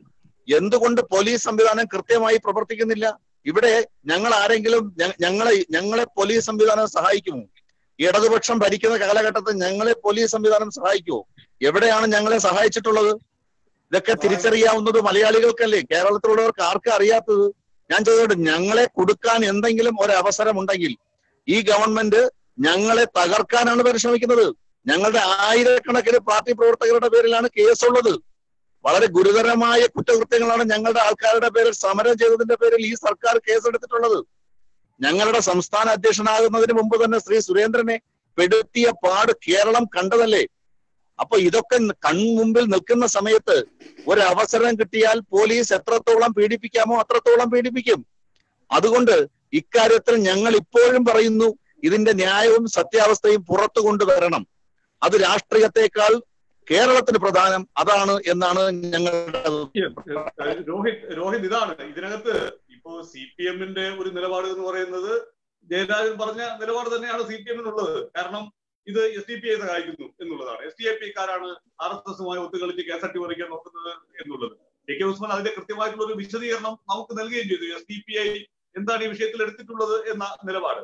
അതിനപ്പുറത്ത് ഈ രാഷ്ട്രീയമായി അങ്ങോട്ടും ഇങ്ങോട്ടും സഹായിക്കുന്നു എന്നുള്ള ആരോപണങ്ങളുമായി നിൽക്കുന്നതിനിടയിൽ യഥാർത്ഥത്തിൽ നമുക്ക് ഇല്ലാതായി പോകുന്നത് ധാർമ്മികതയാണ്. ആ ധാർമ്മികത എന്തുകൊണ്ട് നമ്മുടെ പോലീസിന് ഇല്ലാതായി പോകുന്നു എന്നുള്ള കാര്യം തന്നെയാണ് ഇവിടെ പ്രസക്തമാകുന്നത്. പക്ഷെ അതിന് ഉത്തരം നൽകാൻ ആരും തയ്യാറും ആകുന്നില്ല എന്ന് തോന്നുന്നു. അല്ല അത് തന്നെയാണ്. ഇവിടെ ഇപ്പോ ഈ പാലത്തായി വിഷയം എന്ന് പറയുന്നത് എസ് ടി പി ഐയുമായി ബന്ധപ്പെട്ടോ അല്ലെങ്കിൽ ബി ജെ പിയുമായി ബന്ധപ്പെട്ടോ രാഷ്ട്രീയപരമായിട്ട് അങ്ങോട്ടും ഇങ്ങോട്ടും പറയേണ്ട ഒരു കാര്യമല്ല. ഒരു പക്ഷെ എനിക്ക് തോന്നുന്നു ഈ ഒരു വിഷയത്തെ ഒരു വർഗീയവൽക്കരിക്കാനുള്ള ശ്രമം കൂടി വ്യാപകമായിട്ട് നടന്നുകൊണ്ടിരിക്കുകയാണ്. ഇവിടുത്തെ കാതലായ പ്രശ്നം. എന്തുകൊണ്ടാണ്. അല്ല അതായിക്കോട്ടെ. എന്തു എന്തുകൊണ്ടാണ് സ്ത്രീ സുരക്ഷയുമായി ബന്ധപ്പെട്ട് മുദ്രാവാക്യം ഉയർത്തി അധികാരത്തിലേക്ക് വന്ന ഇടതുപക്ഷ ഗവൺമെന്റ് അധികാരത്തിലിരിക്കുമ്പോൾ എന്തുകൊണ്ട് വാളയാർ ആവർത്തിക്കപ്പെടുന്നു? എന്തുകൊണ്ട് എടപ്പാളിലെ തിയേറ്റർ പീഡനം പോലെയുള്ള സംഭവ വികാസങ്ങൾ ആവർത്തിക്കപ്പെടുന്നു? എന്തുകൊണ്ട് വളാഞ്ചേരിയിലെ നഗരസഭാ കൗൺസിലർ ഉൾപ്പെടെയുള്ള ആളുകൾ പ്രതിയേർക്കപ്പെടുന്ന പോക്സോ കേസുകൾ വീണ്ടും ആവർത്തിക്കപ്പെടുന്നു? ഇപ്പോൾ അതാ വീണ്ടും പാലത്തായി പോലെയുള്ള സംഭവങ്ങൾ ആവർത്തിക്കപ്പെടുകയാണ്. ഇവിടെ ഗവൺമെന്റിന്റെ ഇച്ഛാശക്തിയാണ് പ്രശ്നം. ഗവൺമെന്റ് ഈ വിഷയത്തിനകത്ത് സ്വീകരിക്കുന്ന നിലപാടുകളാണ് പ്രശ്നം. അതുകൊണ്ടാണ് ഞാൻ ആദ്യം സൂചിപ്പിച്ചത് വാളയാറിൽ രണ്ട് കുട്ടികൾ ആത്മഹത്യ ചെയ്യേണ്ട സ്ഥിതിവിശേഷം ഉണ്ടായി. അതിനുശേഷം അതിനകത്തെ പ്രതികൾ കോടതിയിൽ നിന്ന് എളുപ്പത്തിൽ ഊരിപ്പോരുന്ന സ്ഥിതി സ്ഥിതി ഉണ്ടാകുകയാണ്. ഡിവൈഎസ്പിയുടെ സ്റ്റേറ്റ്മെന്റ് പോലും കുട്ടികൾ ഉഭയ കക്ഷി പ്രകാരം അവരുടെ സമ്മത പ്രകാരമാണ് അതിൽ ഏർപ്പെട്ടത് എന്ന് ഡിവൈഎസ്പി പറയുകയാണ്. ആ ഡിവൈഎസ്പിക്ക് എസ് പി ആയി സ്ഥാനക്കയറ്റം കൊടുക്കുകയാണ് ഒരു ഗവൺമെന്റ്. അപ്പോൾ ഇത്തരം വിഷയങ്ങളിൽ ഗവൺമെന്റിന്റെ ആത്മാർത്ഥതയാണ് അവിടെ ചോദ്യം ചെയ്യപ്പെടുന്നത്. ആ ഡിവൈഎസ്പിക്കെതിരെ അമ്മ പോലും ആ കുട്ടികളുടെ അമ്മ പോലും കോടതി കയറി ഇറങ്ങേണ്ട സ്ഥിതിവിശേഷമാണ് ഇപ്പൊ നിങ്ങൾ ആലോചിക്കുക. ബാലാവകാശ കമ്മീഷൻ എന്ന് പറയുന്ന ഒരു കമ്മീഷൻ കേരളത്തിലുണ്ട്. അതിന്റെ ചെയർമാൻ ആരാ? ഒരു യോഗ്യതയും ഇല്ലാത്ത ആളുകളെ രാഷ്ട്രീയപരമായിട്ടുള്ള താല്പര്യം വെച്ചുകൊണ്ട് ഇത്തരം സ്ഥാപനങ്ങളിൽ മുഴുവൻ കുത്തിക്കയറ്റുക. അവരുടെയൊക്കെ ഉത്തരവാദിത്വം എന്ന് പറയുന്നത് ബാലാവകാശ കമ്മീഷന്റെ ഉത്തരവാദിത്വം എന്ന് പറയുന്നത് ഇത്തരം വിഷയങ്ങളിൽ ഇടപെട്ടുകൊണ്ട് കുട്ടികളുടെ സുരക്ഷ ഉറപ്പുവരുത്തേണ്ടതാണ് ഈ കമ്മീഷനൊക്കെ. ആ കമ്മീഷനുകൾ പോലും രാഷ്ട്രീയത്തിന് വേണ്ടി ഉപയോഗിക്കുകയാണ്. ലോക്ക്ഡൌൺ സമയത്ത് പോലും അറുപത്തിയാറ് കുട്ടികളാണ് കേരളത്തിൽ ആത്മഹത്യ ചെയ്തത്. എവിടെയാണ് കേരളത്തിന്റെ ശിശുക്ഷേമ വകുപ്പ് മന്ത്രി ഉള്ളത് അവരെന്താണ് ഇവിടെ ചെയ്തുകൊണ്ടിരിക്കുന്നത്? ഐ ജി ശ്രീജിത്തിനെ പോലെയുള്ള ആൾ കെ എസ് ഡയറിയിലെ നാൾ വഴികൾ മുഴുവൻ ഒരു അപരിചിതന് വിളിച്ചു പറയുമ്പോൾ കേരളത്തിലെ പിണറായിയുടെ ഗവൺമെന്റ് അല്ലെങ്കിൽ ആഭ്യന്തര വകുപ്പ് പറയേണ്ടേ അത് ശരിയല്ല. നിങ്ങൾ അങ്ങനെ വിളിച്ചു പറഞ്ഞത് ശരിയല്ല. നിങ്ങൾക്കെതിരെ നടപടി എടുക്കണം. അദ്ദേഹത്തെ മാറ്റി നിർത്തണ്ടേ? ഈ സമയം വരെയായിട്ട് മാറ്റി നിർത്തിയിട്ടില്ല. അങ്ങനെ എല്ലാം കൊണ്ടും ഈ കേസിനെ അട്ടിമറിക്കുവാനുള്ള ശ്രമം നടത്തുകയാണ്. കോടതിയുടെ ഇടപെടലുകളുടെ ഭാഗമായി മാത്രമായിട്ടാണ് ഈ കേസ് ഇന്നും നിലനിൽക്കുന്നത്. പോക്സോ കേസ് വകുപ്പ് ഉൾപ്പെടുത്താൻ പറ്റാവുന്ന എല്ലാ സാഹചര്യങ്ങളും ഉണ്ട് കുട്ടിയുടെ മൊഴിയുണ്ട് മെഡിക്കൽ റിപ്പോർട്ടുണ്ട് ഇതിനകത്ത് പറയുന്നുണ്ട്.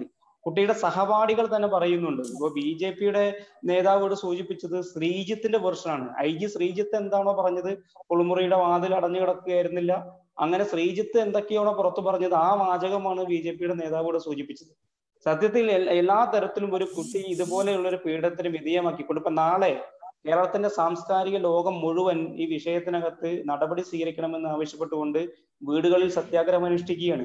അങ്ങനെ കേരളത്തിന്റെ സാമൂഹ്യ സാംസ്കാരിക മണ്ഡലം മുഴുവൻ പാലത്തായിലെ പെൺകുട്ടിക്ക് നീതി ലഭിക്കണമെന്ന് ആവശ്യപ്പെട്ട് മുന്നോട്ട് പോകുമ്പോൾ സർക്കാർ ഇപ്പോഴും ഇപ്പൊ കഴിഞ്ഞ ദിവസം മുഖ്യമന്ത്രിയുടെ പ്രസ്താവന പ്രാദേശികമായി വ്യത്യസ്തമായ അഭിപ്രായങ്ങൾ അവിടെ ഉണ്ട് ഈ വിഷയത്തിൽ നിന്നാണ്. അങ്ങനെ ഒരു മുഖ്യമന്ത്രി പറയാൻ പാടൂ. പ്രാദേശികമായിട്ടുള്ള അഭിപ്രായങ്ങൾക്ക് അടിസ്ഥാനമാക്കിയിട്ടാണോ ഒരു കേസിനെ കുറിച്ചുള്ള ഒരു മുഖ്യമന്ത്രിയുടെ അഭിപ്രായം പറയേണ്ടത്? തെളിവുകൾ അടിസ്ഥാനത്തിൽ അന്വേഷണത്തിൽ ഉയർന്നു വരുന്ന കാര്യങ്ങളെ കുറിച്ചിട്ടല്ലേ അദ്ദേഹം പറയേണ്ടത്? മറിച്ച് നാട്ടുകാർക്കിടയിൽ വ്യത്യസ്തമായ അഭിപ്രായമുണ്ട്. മുഖ്യമന്ത്രി എന്താണ് പറയാൻ ഉദ്ദേശിക്കുന്നത്?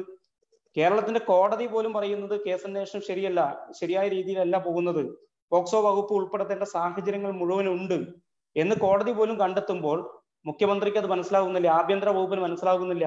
കേരളത്തിന്റെ വനിതാ ശിശുക്ഷേമ വകുപ്പ് മന്ത്രി ഇത് ഒന്നും അറിയാത്ത രീതിയിൽ മുന്നോട്ട് പോവുകയാണ്.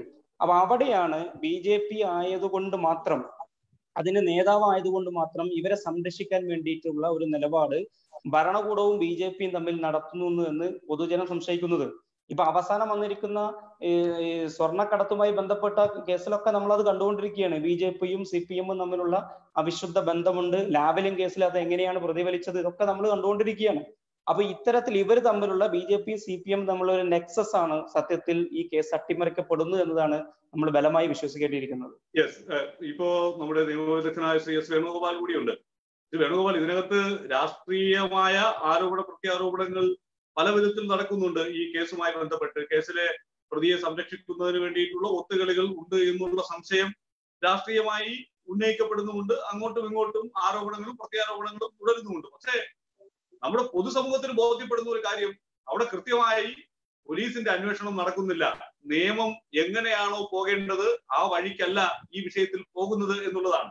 അതിന്റെ പിന്നിലുള്ള താല്പര്യം എന്ത് എന്നുള്ളതിലാണ് ഈ തർക്കം നടക്കുന്നത്. പക്ഷേ പോലീസ് ഇവിടെ ഒരു തികഞ്ഞ പരാജയമായി മാറിക്കഴിഞ്ഞു എന്ന് ബോധ്യപ്പെടുന്നത് തന്നെയല്ലേ ഇതുവരെ നടന്ന സംഭവങ്ങൾ സൂചിപ്പിക്കുന്നത്? തീർച്ചയായും ഈ കേസിന്റെ തുടക്കം മുതൽ ഞാൻ ശ്രദ്ധിച്ചു വരുന്നതാണ്. പത്രവാർത്തകളിൽ നിന്നൊക്കെ മനസ്സിലാകുന്നത് ഇതിന്റെ അന്വേഷണം തുടക്കത്തിൽ തന്നെ അട്ടിമറിച്ചു എന്നുള്ളതാണ്. കാരണം ഇവിടെ എന്റെ ഒരു സുഹൃത്ത് സൂചിപ്പിച്ചത് ജനുവരിയിൽ നടന്ന ഒരു സംഭവം മാർച്ചിലാണ് കേസ് രജിസ്റ്റർ ചെയ്യേണ്ട എന്നുള്ള സാഹചര്യം ഉണ്ടായത്. ആ മൂന്ന് മാസക്കാലം എന്തുകൊണ്ട് ഈ കേസ് അന്വേഷിച്ചില്ല എന്നുള്ളത് ഒരു ഗൗരവമായിട്ട് തന്നെ അതിനെ കാണേണ്ടിയിരിക്കുന്നു. അത് മാത്രമല്ല ഈ കേസിന്റെ അന്വേഷണ ഉദ്യോഗസ്ഥൻ ഒരു ഐ ജി തന്നെ അതിന്റെ മേലുദ്യോഗസ്ഥനായ ഐ ജി തന്നെ ശ്രീജിത്ത് ആ കേസ് ഡയറി ആരെയും വിളിച്ച് അറിയിച്ചു എന്ന് പറഞ്ഞാൽ അത് തന്നെ വളരെ വളരെ ദുഃഖത്തോടു കൂടി വേണം ഈ അവസരത്തിൽ എനിക്ക് പറയാൻ കഴിയൂ. കാരണം സി ഡി കോടതിക്ക് മാത്രമേ കാണാൻ അധികാരമുള്ളൂ നിയമപരമായി. പ്രതിപക്ഷ പ്രതിപ പ്രതികളുടെ വക്കീലിന് പോലും അവകാശമില്ലാത്ത ഒരു സി ഡി എങ്ങനെ അതിലുള്ള കണ്ടന്റ് മറ്റൊരു പാർട്ടിയെ ഈ മേലുദ്യോഗസ്ഥനെ അറിയിച്ചു എന്നുള്ളതാണ്. അദ്ദേഹത്തിന് ആദ്യം ചെയ്യേണ്ടത് അദ്ദേഹത്തിനെ ഈ കേസിൽ നിന്ന് മാറ്റി നിർത്തുന്നത് മാത്രമല്ല ഇങ്ങനെ ഒരു വീഴ്ച നിയമപരമായ ഒരു വലിയ വീഴ്ച അദ്ദേഹത്തിന്റെ ഭാഗത്ത് ഉണ്ടായതിനെതിരെ നിയമ നടപടിയാണ് ആദ്യം സ്വീകരിക്കേണ്ടത് ഈ ശ്രീജിത്തിനെതിരെ. അതാണ് ആദ്യം ചെയ്യേണ്ടത്. രണ്ടാമത് ഈ കേസ് പോസ്കോ വകുപ്പുകൾ ചുമത്തിയില്ല എന്ന് പറഞ്ഞാണ് ജാമ്യം കൊടുത്തു എന്ന് ഞാൻ മനസ്സിലാക്കുന്നത്. എന്തായാലും ആ കുട്ടിയുടെ മാതാവ് ഹൈക്കോടതിയെ സമീപിച്ചിരിക്കുന്നു. സാക്ഷികളെ സ്വാധീനിക്കാൻ സാധ്യതയുണ്ടെന്നുള്ള ഒരു ഒരു പ്രയറാണ് ആ കോടതിയിൽ കൊടുത്തിരിക്കുന്നത്. തീർച്ചയായും ബെയിൽ ആദ്യം ക്യാൻസൽ ചെയ്ത് ഈ പ്രതിയെ ജയിലിലാക്കുകയും ഇതിന്റെ അന്വേഷണം പൂർത്തിയാകുന്നതുവരെ ജാമ്യം കൊടുക്കാത്ത രീതിയിലുള്ള ഒരു ഉത്തരവാണ് ഹൈക്കോടതിയിൽ നിന്ന് ഞാൻ പ്രതീക്ഷിക്കുന്നത്. എന്തു തന്നെയായാലും ഇത് ഒരു നമ്മുടെ കേരളത്തിന്റെ പൊതുസമൂഹത്തിന് ഏറ്റവും നാണമുണ്ടാക്കിയ ഒരു കേസായി മാറാൻ പോവുകയാണ്. കാരണം മാതാപിതാ ഗുരു ദൈവമെന്നാണല്ലോ നമ്മുടെ നാട്ടിലെ പറച്ചിൽ. ആ കാര്യത്തിൽ സംബന്ധിച്ച് ഒരു ഗുരുവിൽ നിന്ന് തന്നെ ഇങ്ങനെ ഒരു അധ്യാപകനിൽ തന്നെ ഇങ്ങനെ ഒരു സംഭവം ഒരു നാല് ക്ലാസ് പഠിക്കുന്ന കുട്ടിക്കുണ്ടായി എന്ന് പറഞ്ഞാൽ ഇങ്ങനെയുള്ള അധ്യാപകരെ നമ്മുടെ സമൂഹത്തിന് ഒട്ടും ചേർന്നതിൽ അവരെ ഉടനെ സർവീസിൽ നിന്ന് അയാളെ പിരിച്ചുവിടേണ്ടതാണ് ഗവൺമെന്റ് ചെയ്യേണ്ടത്. ഇത്ര അത് മാത്രമല്ല ഇനിയുള്ള കാലങ്ങളിൽ നമ്മുടെ എല്ലാ സ്കൂളുകളിലും പാരന്റ്സ് ടീച്ചേഴ്സ് അസോസിയേഷൻ ഉണ്ടെന്ന് പറഞ്ഞാൽ പോലും നമ്മൾ മനസ്സിലാക്കേണ്ടത് ഇത്തരത്തിലുള്ള ഒരുപാട് അവബോധങ്ങൾ സ്കൂളിലെ കുട്ടികൾക്ക് നൽകേണ്ട അധ്യാപകർ തന്നെ ഇതിന് ചുക്കാൻ പിടിക്കുന്നു എന്ന് പറയുമ്പോൾ നമുക്ക് എന്ത് നാണക്കേടാണ് ഈ ഒരു എന്തോ ഏറ്റവും കൂടുതൽ വിദ്യാഭ്യാസമുള്ള സംസ്ഥാനമായ കേരളത്തിന്? ഇത് ഏറ്റവും നാണക്കേട് ഉണ്ടാക്കിയതാണ് മാത്രമല്ല ഈ പോലീസ് കേരളത്തിലെ പോലീസ് അങ്ങനെ എല്ലാവരെയും നമുക്ക് അടച്ചാക്ഷേപിക്കാൻ പറ്റത്തില്ല. നല്ല ഉദ്യോഗസ്ഥർ പോലീസിലുണ്ട്. കൃത്യമായി കേസ് അന്വേഷിച്ച് ചാർജ് കോടതിയിൽ ഹാജരാക്കി പ്രതികൾക്ക് ശിക്ഷ വാങ്ങി കൊടുക്കുന്ന നല്ല ഉദ്യോഗസ്ഥർ കേരളത്തിലുണ്ട്. പക്ഷേ അവരുടെ ശരിയായ രീതിയിലുള്ള അന്വേഷണം കൊണ്ടുപോകുന്നതിന് ചില മേൽത്തട്ടിലുള്ള മേലുദ്യോഗസ്ഥരും അതുപോലെ രാഷ്ട്രീയ ഇടപെടലുകളും ഉണ്ടാകുന്നതാണ് ഏറ്റവും ദുഃഖം എന്ന് എനിക്ക് ഈ അവസരത്തിൽ പറയേണ്ടിയിരിക്കുന്നു. ശ്രീ പി കെ ഉസ്മാൻ നേരത്തെ നമ്മൾ ഉന്നയിച്ച ഒരു വലിയ ചോദ്യത്തിന് ബി ജെ പി നേതാവ് ശ്രീ ശിവൻകുട്ടി നൽകിയ ഉത്തരം കണ്ടു കാണും. കാരണം എവിടെയാണ് എങ്ങനെയാണ് സി പി എം ഈ ബി ജെ പിക്കാരെ പോലീസിനെ കൊണ്ട് സഹായിപ്പിക്കുന്നത്? അങ്ങനെ എന്തെങ്കിലും ഒരു സാഹചര്യമുണ്ടോ? ശബരിമല വിഷയത്തിലൊക്കെ ഇപ്പോഴും ബി ജെ പിക്കാരായിട്ടുള്ള അവരുടെ പ്രവർത്തകർ നിരവധി പേർ കേസിൽ കുടുങ്ങി കിടക്കുകയാണ്. സുരേന്ദ്രനെ ചെയ്ത ചെയ്തില്ല കണ്ടില്ലേ എന്നുള്ള ചോദ്യമൊക്കെ അദ്ദേഹം ഉന്നയിക്കുന്നുണ്ട്. അപ്പോൾ അവിടെ ബി ജെ പിയെ സഹായിക്കേണ്ടുന്ന ഒരു കാര്യം സി പി എമ്മിനില്ല. സി പി എമ്മിന്റെ സഹായം ബി ജെ പി നേതാവായ പത്മരാജന് വേണ്ടി തേടേണ്ടുന്ന ഒരു സാഹചര്യം ബി ജെ പിയെ സംബന്ധിച്ചിടത്തോളം ഇല്ല. അവർക്ക് യാഥാർത്ഥ്യം മാത്രം അറിഞ്ഞാൽ മതി. അപ്പൊ പിന്നെ ഇവിടെ ആർക്കാണ് പ്രശ്നം? ഈ എസ് കെ എസ് എസ് എഫിന്റെ നേതാവ് എഴുതിയതുപോലെ എസ് ഡി പി ഐക്ക് ഇതിനകത്ത് ദുരൂഹമായ ഇടപെടൽ ഉണ്ടോ എന്നുള്ള സംശയം ആ സംശയത്തിൽ ഊന്നിയാണ് പി ജയരാജൻ പോലും നിങ്ങൾക്ക് നേരെ വിരൽ ചൂണ്ടിയത്. തുടക്കത്തിലെ ഞാൻ വളരെ കൃത്യമായി കുറെ കേസിൽ ഞാൻ എണ്ണി എണ്ണി പറഞ്ഞു. അതിനോട് കേരളത്തിൽ ആഭ്യന്തര വകുപ്പ് എടുത്തിട്ടുള്ള സമീപനം പറഞ്ഞു. നമുക്കിവിടെ വളരെ വ്യക്തമായിട്ട് കാണാൻ കഴിയും. എസ് കെ എസ് എസ് എഫിന്റെ സി പി എമ്മിന്റെ ഫ്രാക്ഷൻ നേതാവ് Sattar Pandallur S T P ഐയുടെ മണ്ഡലം പ്രസിഡന്റ് കൊടുത്ത ഒരു ഫേസ്ബുക്ക് ലൈവിൽ നിന്നാണ് അത് വരുന്നത്. വളരെ കൃത്യമായി അദ്ദേഹം അതിൽ എണ്ണി എണ്ണി വിവരിക്കുന്നുണ്ട്. കേസ് പതിനേഴാം തീയതിയോ ഏഴാം തീയതിയോ പിന്നെ പരാതി കൊടുക്കുന്നു. പരാതി കൊടുക്കുന്നതിൽ തീയതി എഴുതുന്നില്ല. രണ്ടാം ദിവസമാണ് മജിസ്ട്രേറ്റ് മൊഴി കൊടുക്കാൻ വേണ്ടി പോകുന്നത്. ആ മൊഴി കൊടുക്കാൻ വേണ്ടി പോകുന്നത് പോലീസ് കസ്റ്റഡിയിലാണ്. കൂടെയുള്ളത് അവിടെ സി പി എമ്മിന്റെ നേതാവ് ഈ ആക്ഷൻ കൗൺസിലിന്റെ നേതാവുമാണ്. ഈ പോലീസ് പോയി പോലീസുകാരുമായി പോയി മൊഴി കൊടുക്കുന്നതിലാണ് ഈ തീയതി വരുന്നത്. സ്വാഭാവികമായും തുടക്കം മുതലേ പോലീസിന്റെ ഈ കേസിൽ ഇടപെടൽ സംശയാസ്പദമാണ് എന്നുള്ളതിന് കേരളത്തിന് സംശയമില്ല. ഒരു കേസിലെ പ്രതിയെ ഒളിപ്പിച്ച് താമസിച്ച സ്വാഭാവികമായും അവർ കേസിൽ പ്രതി ഇറക്കപ്പെടേണ്ടതാണ്.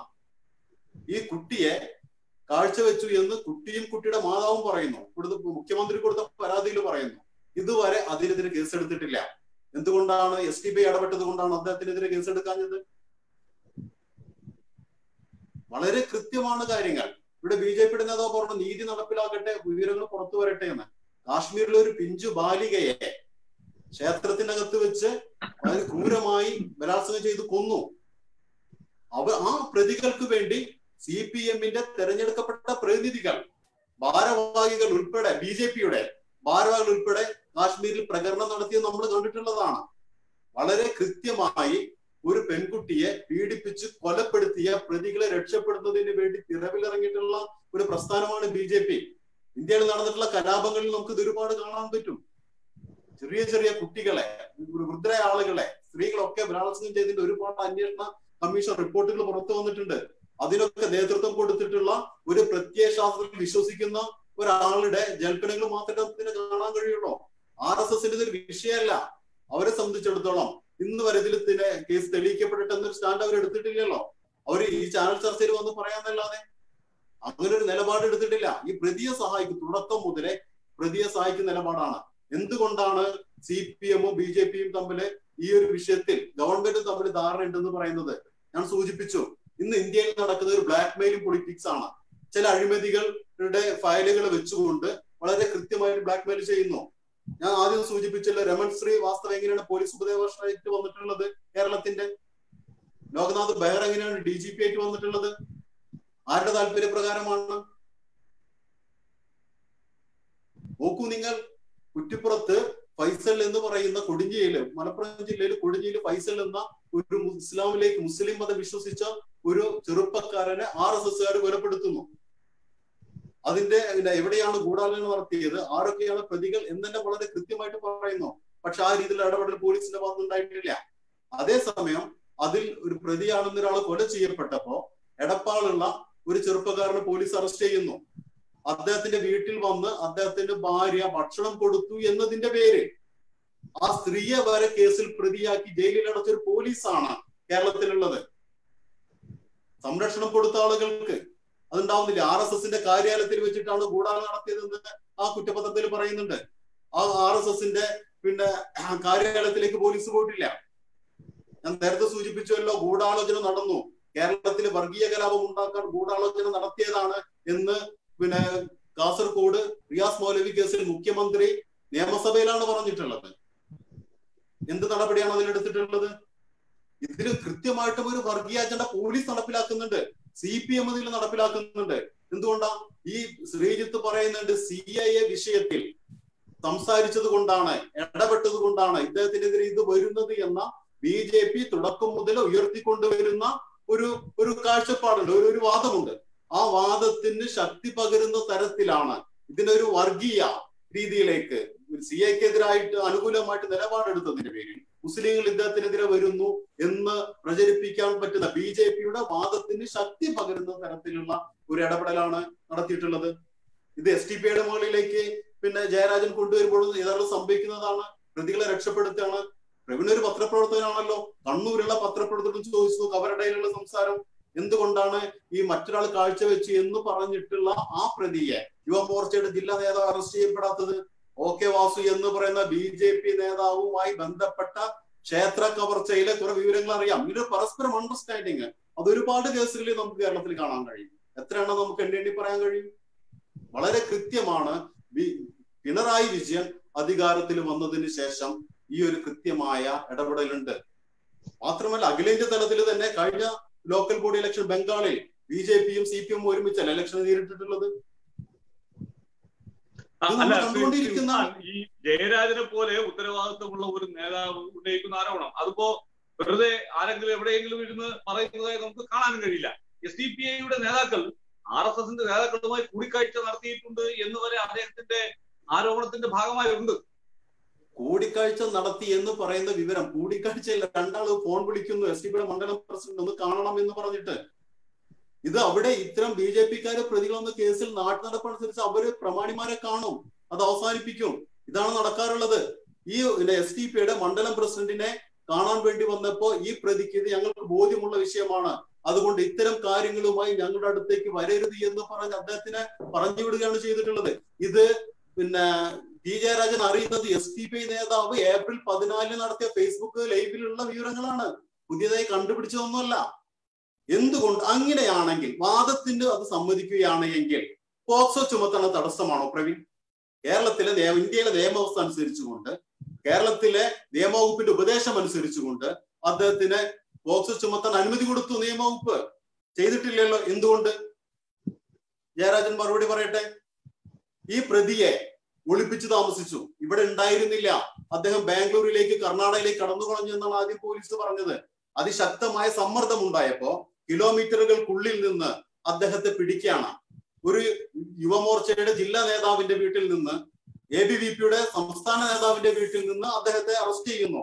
എന്തുകൊണ്ട്? അവർക്ക് ഇത് പ്രതിയാണ് എന്നറിഞ്ഞിട്ടും പോലീസ് അന്വേഷിക്കുന്ന ആളാണെന്ന് അറിഞ്ഞിട്ടും എന്തുകൊണ്ട് അവരെ കേസിൽ പ്രതി ചേർത്തില്ല അവിടെ പത്മരാജൻ അറസ്റ്റ് ചെയ്യണമെന്ന് പറഞ്ഞിട്ട് S T P I poster പതിച്ചു. ആ പോസ്റ്റർ കീറിക്കളഞ്ഞത് ബി ജെ പിക്കാരല്ല പോലീസാണ്. എന്തുകൊണ്ട്? ബി രാജൻ മറുപടി പറയട്ടെ. കുട്ടിയുടെ മാതാവിന്റെ പരാതിയിൽ മറ്റൊരാൾക്ക് കാഴ്ചവെച്ചു എന്റെ മകളെ എന്ന് പറയുന്നു. എന്തുകൊണ്ട് കേസ് എടുത്തിട്ടില്ല? ആ വിഷയത്തിൽ എഫ്ഐആർ രജിസ്റ്റർ ചെയ്തിട്ടില്ല.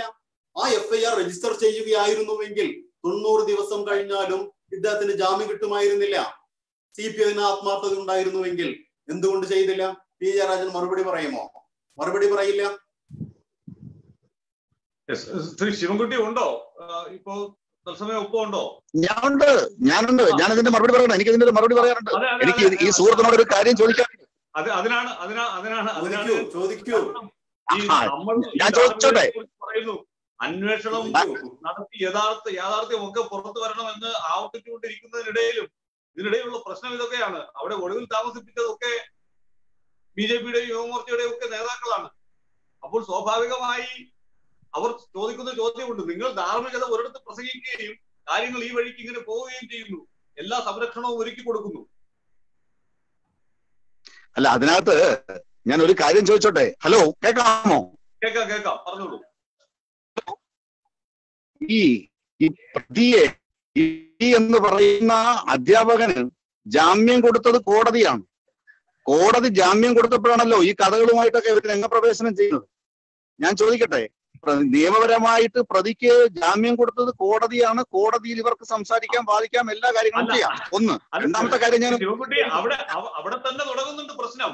ഈ ജാമ്യം കൊടുക്കുന്നതിന് കാരണമായ രീതിയിലുള്ള ഇടപെടൽ എങ്ങനെയാണ് ഉണ്ടായത്? ജാമ്യം ഇനിയിപ്പോ അന്ന് കുറ്റപത്രം ഈ തൊണ്ണൂറാം ദിവസം കൊണ്ടുപോയി കുറ്റപത്രം സമർപ്പിച്ചില്ലായിരുന്നെങ്കിലും സ്വാഭാവികമായി ജാമ്യം കിട്ടും. കാരണം കുറ്റപത്രം കൊടുത്തില്ല എന്നുള്ള കാരണം കൊണ്ട് സ്വാഭാവികമായി ജാമ്യം കിട്ടി. ഇപ്പോൾ തന്നെ ഞാൻ മനസ്സിലാക്കുന്ന ഒരു കാര്യം ഈ കുറ്റപത്രത്തിൽ ഉൾപ്പെടുത്തിയിരിക്കുന്ന വകുപ്പുകൾ എന്ന് പറയുന്നത് അറുപത് ദിവസം കൊണ്ട് ജാമ്യം കിട്ടാനുള്ള ഒരു കാര്യമാണ്. ഈ തൊണ്ണൂറ് ദിവസം അകത്ത് കിടക്കേണ്ടുന്ന കാര്യം പോലുമില്ല. ആ ആ കുറ്റപത്രം പറ്റിയിട്ടാണെങ്കിൽ അങ്ങനെയുള്ള അങ്ങനെയുള്ള ഐ പി സിയിലെ ചില ദുർബലമായ വകുപ്പുകൾ എന്ന് പറയുന്ന വകുപ്പുകളും ജുവനൈൽ ആക്ടിലെ ചില വകുപ്പുകളുമാണ് ഉള്ളത് അറുപത് ദിവസം കഴിഞ്ഞാൽ സ്വാഭാവികമായി സ്വാഭാവികമായും ജാമ്യം കിട്ടേണ്ടുന്ന ഒരു കേസാണ്. അതുകൊണ്ട് കോടതി ജാമ്യം കൊടുത്ത് അവിടെ നിൽക്കട്ടെ. അതല്ല നമ്മുടെ വിഷയം. അല്ല എനിക്ക് അതിനകത്തൊരു കാര്യം ചോദിക്കാനുള്ളത്. ഇത് സംസ്ഥാന സർക്കാരിന്റെ പോലീസ് അന്വേഷിച്ചിട്ട് കോടതിയിൽ കൊടുത്ത റിപ്പോർട്ടിന്റെ അടിസ്ഥാനത്തിലാണല്ലോ ജാമ്യം കൊടുത്തത്. പോലീസ് പറയുന്നത് എന്താണ്? ഈ കുട്ടി പറയുന്ന മൊഴിയിൽ വൈരുദ്ധ്യമുണ്ട്. ഈ ഈ സമയത്ത് അധ്യാപകൻ അവിടെ ഇല്ല. ഈ കുട്ടി പറയുന്ന ദിവസങ്ങളിൽ ഈ അധ്യാപകൻ അവിടെ ഇല്ല എന്ന് പറയുന്നു. ഞാൻ ചോദിക്കട്ടെ ഇതിനകത്ത് ഒരു പ്രധാനപ്പെട്ട സംഭവം ഉള്ളത് അല്ല, ഈ കേസ് അന്വേഷണത്തിന് നേതൃത്വം നൽകിയ പോലീസ് ഉദ്യോഗസ്ഥൻ. ആ പോലീസ് ഉദ്യോഗസ്ഥൻ നാട്ടുകാരോടൊക്കെ വിളിച്ചു പറയുകയാണ് കേസിന്റെ നാൾവഴികൾ ഇന്ന ഇങ്ങനെയൊക്കെയാണ് ഇങ്ങനെയൊക്കെയാണ് എന്ന്. അവിടെ തന്നെ അവിടെ തന്നെ തീർന്നു ആ പ്രശ്നം.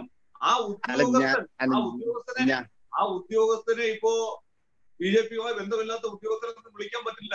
ഒഴുതു കരഞ്ഞു നിൽക്കുന്ന സ്ത്രീത്തിന്റെ മുഖം ഇപ്പോഴും കേരളത്തിന്റെ മുന്നിലൊക്കെ ഉണ്ട്. അതുകൊണ്ടൊക്കെയാണ് ഈ സംശയം ഉയരുന്നത്.